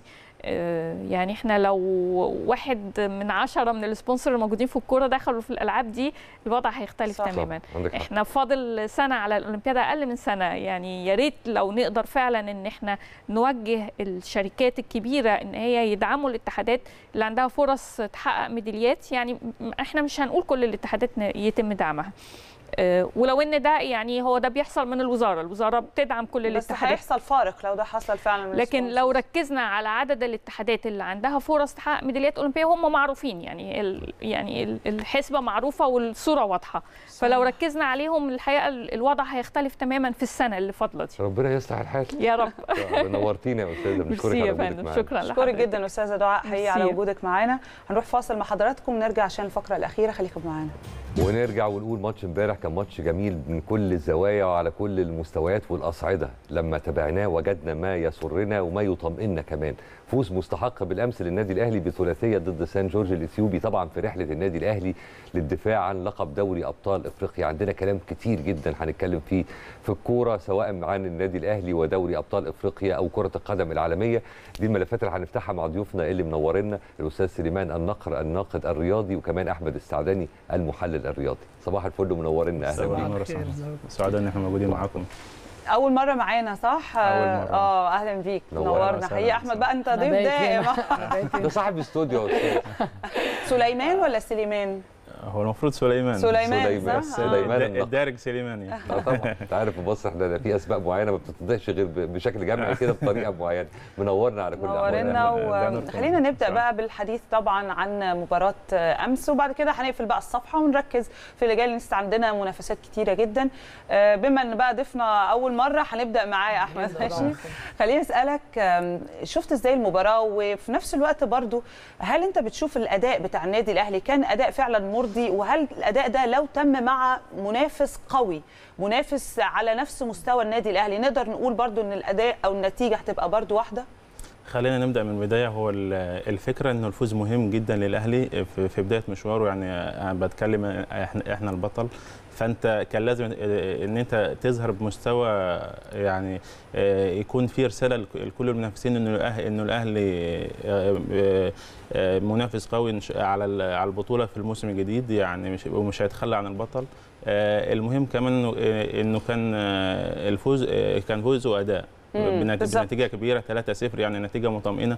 هتريح الجهاز الفني في الماتش اللي جاي ماتش العودة. هيبقى عنده خيارات كتيرة عنده تنوع إنه مثلا يقدر يري- يريح لعيبة من اللعيبة الأساسية ويبدأ سياسة التدوير مبكرا عشان يت- يتجنب الإرهاق اللي حصل في في نهاية ال- الموسم اللي فات. يمكن مم. كمان هو ات- اتكلم مستر كولر في في الحوار ده وقال ان إن أنا آه، يعني الموضوع ده هيريحني إن أنا عايز أعمل التدوير التدوير هيبقى مهم ع- يعني عشان ي- يبقى في يعني برضو ما يبقاش في تفاوت ما بين اللعيبة الأساسية اللي بتاخد آه، آه، فرص كتيرة صح. مع- مع اللعيبة البدلاء لأن لأنه اللعيب برضو لما لما يبعد كتير عن الملعب آه، صح، هو آه، فعلاً قال كده وقال إن بتبقى التدوير- حساسية المباريات برضو بالنسبة له. قال التدوير كمان هيخلينا لو في أي إصابات ما نشعرش إن في أي إصابات أو غيابات بسبب الإصابات أو أي سبب آه كان. بالظبط. فدي نقطة هو هو بيسعى إنه يخلي الأهلي هيلعب بأي 11 لاعب. ما يتأثرش بأي لاعب يعني أي اي 11 لاعب يمثلوا الأهلي جوه الملعب. آه، هيأدوا جاهزية هيأدوا. هيأدوا الغرض و-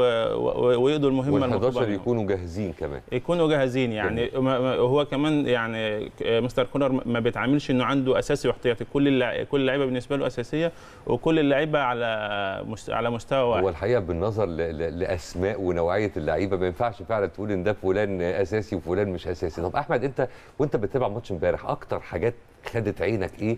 وإيه المشاعر اللي كانت جواك وقت نهاية المباراة؟ حسيت بإيه؟ بص أنا هقول لك على حاجة. يعني أنا ببص للماتش من ناحية تانية شوية. مم. ناحية إيه؟ ناحية إن أنا بالنسبة لي الأهلي دلوقتي آه، زي ما سليمان قال كده مفيش فرق بين أساسي واحتياطي. معلش أنت حسين أنا لو سألتك مثلا مين كان نجم الماتش امبارح هتقول لي مثلا حسين الشحات. لو سألت نهاوند ممكن تقول لي إمام عاشور. أنت لو بصيت هتلاقي إن أنت مثلا عندك في في الثلث القداماني اللي كان مشكلة للأهلي زمان عندك بيرسي تاو حسين الشحات أحمد عبد القادر رضا سليم مثلا الأربعة لا على ال- الأربعة category جامد جدا. طبعا. أنت أي اتنين في الملعب هيلعبوا مستوى. جامدين جدا. يعني امام عاشور آه، بالنسبة لي آه، لا هو لعيب كبير قوي. على فكرة أنا من قبل ما يجي الأهلي وأنا بقول عليه أجمد لعيب في مصر. هو فعلا فعلا فعلا آه، إمكانياته كبيرة جدا. صحيح. وعامل إضافة جامدة جدا جدا في الأهلي. ومريح مستر كولر جدا إن هو بيلعب 8 وبيلعب 10 وفي نفس الوقت لعيب كورة نادر قوي. معلش اما تلاقي defender في الدوري متكامل المصري بالشكل ده. هو بالنسبة لي أنا هو متكامل. صحيح. أنت نادر قوي لما تلاقي defender في الدوري المصري بيشوط برجلين الاثنين وعنده dribbling و... و... وبيخبط و- يعني انت فاهم قصدي؟ طب. فهو لا إمام عاشور لعيب جامد. و... وأنا عاجبني فعلا سياسة التدوير إن أنا عادي حسين الشحات مش موجود رضا سليم بيرسي تاو أحمد. عبد القادر بنشوف بيجيب جون في آخر دقيقة جون جون عالمي. آه، حلو جدا. وهو لعيب جامد عنده جدا. هو الحتة بتاعت عارف الكره بتاعت الشارع دي آه، ده آه. لاعب الحواري على فكرة المهارة دي عالية جدا. على فكرة أحمد عبد القادر يعني عنده القدرة إن هو يبقى أجمد لعيب في مصر. إمكانياته عالية جدا. هو بس يعني محتاج يظبط شوية حاجات كده وفعلا هيبقى في حتة تانية هيبقى هيبقى من أهم اللعيبة في مصر يعني لو ركز. مين من اللعيبة من وجهة نظركم ما كانش أداؤه الأفضل آه، امبارح؟ أنا شايف إنه كل اللعيبة أدت اللي عليها يعني ممكن ممكن كهربا. كهربا ما ممكن كانش كهربا ما- كانش في يومه. يعني هو ما كانش موفق. بس مش أكتر يعني, يعني بالأداء اللي إحنا نعرفه. آه يعني أنا متعود إن كهربا ممكن الماتش كله ما فيش وممكن في ثانية كده يطلع يجيب جول. فكهربا امبارح تحس إن هو ما كانش مركز أو كان مركز قوي في لعيبة. يعني حاجة ممكن المهاجمين دايما يبقوا واخدين بالهم منها. المهاجم لو نازل مركز ان هو لازم أجيب جون ممكن مثلا عشان مودست جه فهو عايز يبقى. مش كويس كده، فهو نازل مركز ان أنا عايز أجيب جون فلما ال pressure ده بيبقى عليه ممكن تلاقيه كور سهلة كتير قوي يضيعها. على ذكر؟ الجول أنهي يعني اللي عجبكم أكتر؟ هل ال- ال- الجولين اللي جابهم حسين الشحات. ولا الأسيستين بتوع إمام عاشور وكهربا ساعات بيبقى الواحد واقف مش عارف أنهي الأحلى في الاثنين الهدف نفسه ولا الأسيست اللي اتعمل؟ نبتدي معاك قول. يا آه، هو- بصراحة ال- الأسيست من آه، من إمام كان حلو جدا في الهدف الأولاني. يعني فكرة إن أنت تخلي آه، آه، حسين الشحات في مواجهه في مواجهة مع آخر لاعب بحيث يرقص ويل- ويلم ويحط في الزاوية البعيدة يعني يعني دي كنا مفتقدينها بصراحة في الأهلي. آه، في في المجمل أنا من وجهة نظري شايف آه، آه، شايف إمام هو نجم المباراة. ايا كان حتى لو ما عملش اسيستات ولا ما جابش جوان بس بالنسبة لي نجم المباراة لا- لأنه يعني هو هو المكوك جوه الملعب اللي بيشتغل وبيخلق فرص كتير صحيح. وكمان يعني آه، فرق فرق كتير مع- آه، مع الأهلي في في الزيادة العددية. يعني إمام بت- بتلاقيه مثلا مش بس آه، لاعب نص لا ده ده- بيزيد ده- ده بيزيد آه، طبعا. بيزيد مع الثلاثي اللي- قدام وبيقدم الزيادة وكمان بيشوط عنده المهارة الفردية بيعرف يخلص. الكورة بي- بيعرف يعني أنت كان عندك اللي هو ال second ball اللي بترجع من الدفاع. ما كانش بنلاقي حد يقابل ف- ف- فبيرجع يشوطها تاني آه، إمام عاشور آه، من في الثلاث ماتشات اللي لعبهم مع الأهلي يعني عوضنا عن الحتة دي. أنا من وجهة نظري شايف إنه إمام عاشور هي ال- الق- القطعة المفقودة ال- في التشكيلة بتاعه كولر. كولر كان بيدور على على على النوعية دي بالذات آه، من اللعيبه عوضه كتير وخصوصا اداله ميزة آه، في أكتر من حاجة. يعني إمام عاشور. مميز جدا فكرة ال- الطريقة اللي بيحبها كولر أو اللي اعتمدها خلاص مع الأهلي اللي هي 4 3 3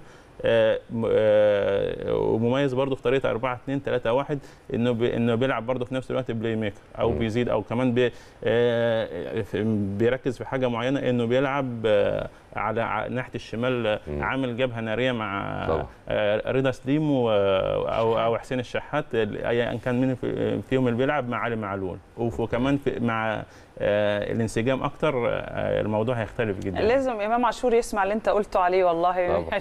يعني أنت يعني أعتقد هيفرح لأن أنت شرحت بشكل كده كمان فني وتفصيلي وهو فعلا صفقة أنت بتأكد إن وإحنا يعني مش محتاجين ده بس فعلا صفقة كانت صفقة محترمة جدا وهتضيف بشكل كبير جدا الفترة اللي جاية آه طبعا إحنا مش مش هن- مش هنبالغ لو قلنا إن هو يعني من أهم آه، لا، هو أجمد لعيب في مصر. آه، من من أهم الصفقات اللي عملها الأهلي خلال آخر خمس سنين مم. وانت رأيك إيه برضو يا أحمد؟ على إمام ولا لا، رأيي ولا على امبارح برضه كنا بنسأل في مسألة الاجوال والأسيستات بص. أنا بالنسبة لي هو الجونين بتوع حسين الشحات كده كده أحمد عبد القادر هو حريف جدا ده اجتهاد شخصي منه. آه، الجونين بتوع حسين الشحات مميزين قوي بالنسبة لي لسبب. أول جون إن حسين الشحات آه، نادر قوي ما تلاقي لعيب في مصر بي آه، بي- بيحضر وبيجري بميل. هو الكرة جاية له مثلا حطها وجري بميل وشايف ال- ال- المساك اللي كان داخل عليه وهو بيديله كوبري. دي حاجة بالنسبة لي مهمة لأن لا- في لعيبة في مصر كتير جدا على فكرة وبتلعب في أندية كبيرة بيستلم الكرة وبعد كده يفكر هو هيعمل إيه ويرفع عينه ويبص. دي نقطة كانت الخاصيه مهمة. دي موجودة عند ميسي يعمل scan آه، كده للملعب ميسي ميسي يا ينطلق. ما قفشوا له 350 scan في ماتش طول ما هو ماشي عمال يبص يمين وشمال. والله العظيم ده آه، بجد. صحيح. فالموضوع ده مهم جدا. تاني جون بالنسبة لي آه، الكره اللي هي قلشت من كهربا طلعت عالية قوي دي مش أي واحد يعرف يوقف الكره الاستلامه اللي حسين شحات وقفها بالهدوء دوت ويركنها في آخر الجون. مش كل اللعيبة في مصر خالص تعرف تعمل القصة دي. ممكن لعيب كنت يجي يستلم الكرة تلاقيها طولت منه مترين مثلا. فاهم؟ آه طبعا.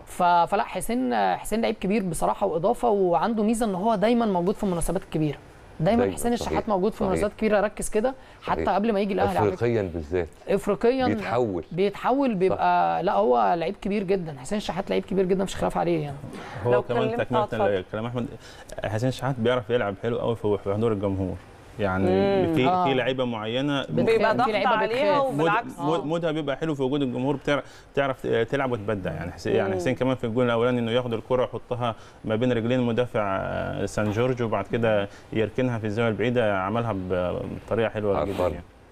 بصوا يعني هنقفل بقى الملف ده وهنبص لقدام لكن قبل ما أقفله أنا وكريم اتكلمنا في التصريحات دي. أنا عجبني جدا جدا التصريحات الخاصة بعضو مجلس إدارة سان جورج لما طلع قال يعني حظنا وحش إن إحنا بدأنا مع النادي الأهلي. النادي الأهلي برضو بعيد جدا إحنا ما كناش أكيد حاطين إن إحنا نفوز. واتكلم عن ادى كريدت لإمام عاشور وحسين الشحات. يعني كلام كنا كده كده تصريحات متوقعة بس تصريحات محترمة إن أنت تسمعها طبعا من منافس. ف بس هنرجع نقول تاني دي البداية السهلة. عندنا بقى مواجهات وعندنا تحديات في الفترة اللي جاية. من وجهة نظركم إيه التحديه التحديات الكبرى آه، سواء محليا أو افريقيا اللي بتواجه ومنتظرة النادي الأهلي الفترة اللي جاية؟ آه، بالنسبة لي أنا شايف ال- اللي هو آه، الدوري السوبر الأفريقي. يعني هو أكبر تحدي خصوصا إن يعني سيمبا مش هيكون منافس سهل يعني ربما الناس تبقى متوقعة إنه مثلا هتعدي المباراة الأولانية فبعد كده هتدخل على سان داونز هو طبعا التحدي الأكبر بالنسبة لكل الأهلاوية هو ماتش سان داونز بس مم. آه، بس أنا متوقع انه ماتش آه، آه، سيمبا مش هيكون سهل خصوصا ماتش الافتتاح عشان هيكون على ملعبه وهم مم. بيعرفوا يلعبوا يمكن صعب. آه، لعبناه من حوالي سنتين آه، الأهلي خسر 1-0 في في الماتش اللي كان لويس ميكسوني معاهم قبل ما يجي الأهلي السنة اللي. قبل ما يجي فيها. الأهلي آه، فالماتش هيكون صعب يعني. بس يعني آه، الحاجة اللي مخليني متفائل ان إن أنا بثق في في كولر إنه بيعرف يقرأ الماتشات بشكل جيد جدا مم. يعني. يمكن يمكن دي بتميزه. وفي كمان إنه بيعرف يحدد أخطائه وبيصححها وبيبني عليها كمان. وده اللي كان كان نقلة صح. آه، في مشواره مع الأهلي يعني. عمل تطوير فعلا. وأحمد؟ أنا بالنسبة لي البطولات كلها مهمة بصراحة. أصل إحنا الأهلي ما فيش بطولة أفريقيا أو كأس عالم أصعب التحديات اللي موجودة. آه ممكن ممكن سوبر أفريقي برضه. هيبقى هيبقى صعب. إن أنا في الماتشات الافريقيه دي بالنسبة لي بصراحة بتبقى مكلكعة وبتبقى رخمة وبتبقى رخمة للعيبة. فأنا بالنسبة لي ممكن زي ما سليمان قال ماتش سيمبا ده هيبقى هيبقى ماتش صعب يعني. مش مش هيبقى سهل خالص. ربنا يسهل الحال. طيب قبل ما نختم بقى معاكم لقائنا برضو بس اسمنا إيه آه، طلينا طله كده على كرة القدم العالمية. وتعالى نتكلم شوية عن ليفربول. وهل في رأيك إن ليفربول الموسم الحالي مختلف عن الموسم اللي فات؟ ودور محمد صلاح في اللي حاصل إيه؟ بص هو ليفربول أنا بالنسبة لي مختلف خالص. الصفقات اللي عملوها جامدة جدا. سوبوزلاي و... وماكاليستر الاثنين دول لاعبين رقم 8 جامدين جدا. هم كان ناقصهم لعيب رقم 6 بس يلعب تحتهم جامد اللي هو مثلا كايسيدو اللي راح تشيلسي ده. بس. هو ما جاش وراح تشيلسي يعني. آه، محمد صلاح آه، لما تبص على طريقة لعبه دلوقتي لا هو طريقة لعبه مختلفة خالص عن من 3 4 سنين. هتلاقي جريه أقل سبرنتاته قلت بس ذكي قوي بيبقى طالع من الماتش. أكتر نضجا كمان. أكتر نضجا بكتير جدا. هتلاقيه طالع من الماتش مثلا مش جاري قد اللي كان بيجريه مثلا من أربع سنين ومن ثلاث سنين بس طالع جاب جونين. عامل ثلاث اجوان. فهو خلاص نضج كرويا جدا بقى عارف إن هو إزاي باقل مجهود وممكن على قد الماتش وعلى الكلام ده كله أطلع مكسب الفرقة وجايب جون وعامل جون. فمحمد صلاح بصراحة في حتة تانية وأنا شايف إن سوبوزلاي بتاع لايبزيج ده ده لعيب كبير جدا جدا هيفرق قوي مع ليفربول لازم كلوب بس يبدأ يقعد جاكبو ده شوية عشان بيشلني يعني وي- ويلعب نونيز لكن ليفربول السنة دي تتفق ولا. تختلف؟ أنا متفق تمام معاه بس يعني هضيف على كلام احمد حاجة انه يعني أنا شايف انه كان ليفربول برضه محتاج بخلاف انه محتاج لاعب في مركز آه، ستة يعني كان في أكتر من لاعب قدامه كان آه، آه، ممكن يجيبه زي كايسيدو بس هو للأسف فضل تشيلسي في الآخر. كان في برضه ممكن مرابط اللي هو راح مانشستر يونايتد كان في فرصة. إنه إنه ممكن كان في كلام إنه ممكن يجي. برضو مح- محتاج حد في قلب الدفاع جنب آه، آه، فان دايك. آه، ومحتاج آه، يعني آه، من وجهة نظري جناح تاني يعني برضه بنفس قوة آه، صلاح في اليمين. يعني أنا شايف حد موازي ليه في آه الشمال. آه يعني آه، في في الشمال شايف انه لويس دياز آه، بحالات. ممكن ماتش يكون آه، مفيد للفريق وممكن ماتش ما, ما بيكونش في حالته فيعني الجبهه اليمين فيها صلاح طبعا أقوى كتير ويمكن هو نجم الفرقة. ال- الش- ال- ال- مستواه يعني في في الطالع هو نونيز. يعني السنة اللي فاتت كان كان في تفاوت في في مستواه بس في المجمل يعني أنا شايف زي ما أحمد قال إن هم صحح كتير من أخطائه لأنه كان مشكلة ليفربول بشكل عام في النص. فكرة إنه يجيب الاثنين اللي هو سوبوسلاي و- وماكاليستر الاثنين فرقوا فرقوا جامد وكان نقلة في الوسط آه، ليفربول والسبب أساسي إن هو دلوقتي موجود في المنافسة. وإلا كان لو ما كانش حصل الكلام ده كان هيبقى في معاناة آه، زي الموسم اللي فات. طب لو قلنا مان سيتي وليفربول والاثنين متقاربين إلى حد كبير آه، في الدوري كمان الإنجليزي. دلوقتي بنتكلم مين الأقرب؟ يعني من وجهة نظركم لا برضه. بصي هقول لك حاجة. هو مانشستر سيتي بعيد قوي بصراحة. بس هو أداء برضو مختلف وبيفاجئك وبيتطور آه. وماتشاته فعلا ما تعرفش تحسبها. آه يعني مانشستر سيتي لأ يعني هم بالنسبة لي مبوظين الدوري. هم بجد أنت شايفه ليفربول؟ والله العظيم. يعني أنا بحب Premier League ومنافسة وبتاع. مش الدرجة لأ أنت بتتكلمي الماتش الأخراني مطرود منهم واحد بيلعبوا شوط كامل مطرود منهم واحد. فرقه ثانية مش عارفة تشوط على الجول الدوري مجاملة مش مش عارفة يعني. تشوط على الجول والله العظيم. أنا وبعدين أنا, أنا انت- يؤسفني أقطع استرسالك لأن عندي لك خبر مش حلو وإحنا وقتنا إيه؟ انتهى. يا دوب نلحق نشكركم. جزيل الشكر كان لسه قايلين دقيقتين،. لحقنا. هنعمل إيه؟ الله بلا اعتراض. محكومين بمده زمنية. بنشكركم نورتونا. شكرا ربنا جزيلا. يخليك ميرسي. معلش الوقت ضيق طبعا بس آه، يعني أكيد هتنورونا مرة تانية و... شاء الله. يعني تشرفنا بيك أكيد سليمان نورتنا. شكرا. ليك يا أحمد. علي نشكر حضراتكم على متابعتنا والوقت فعلا بيجري بشكل سريع. نشوفكم بكرة إن شاء الله وملف جديد وحلقة جديدة. السلام.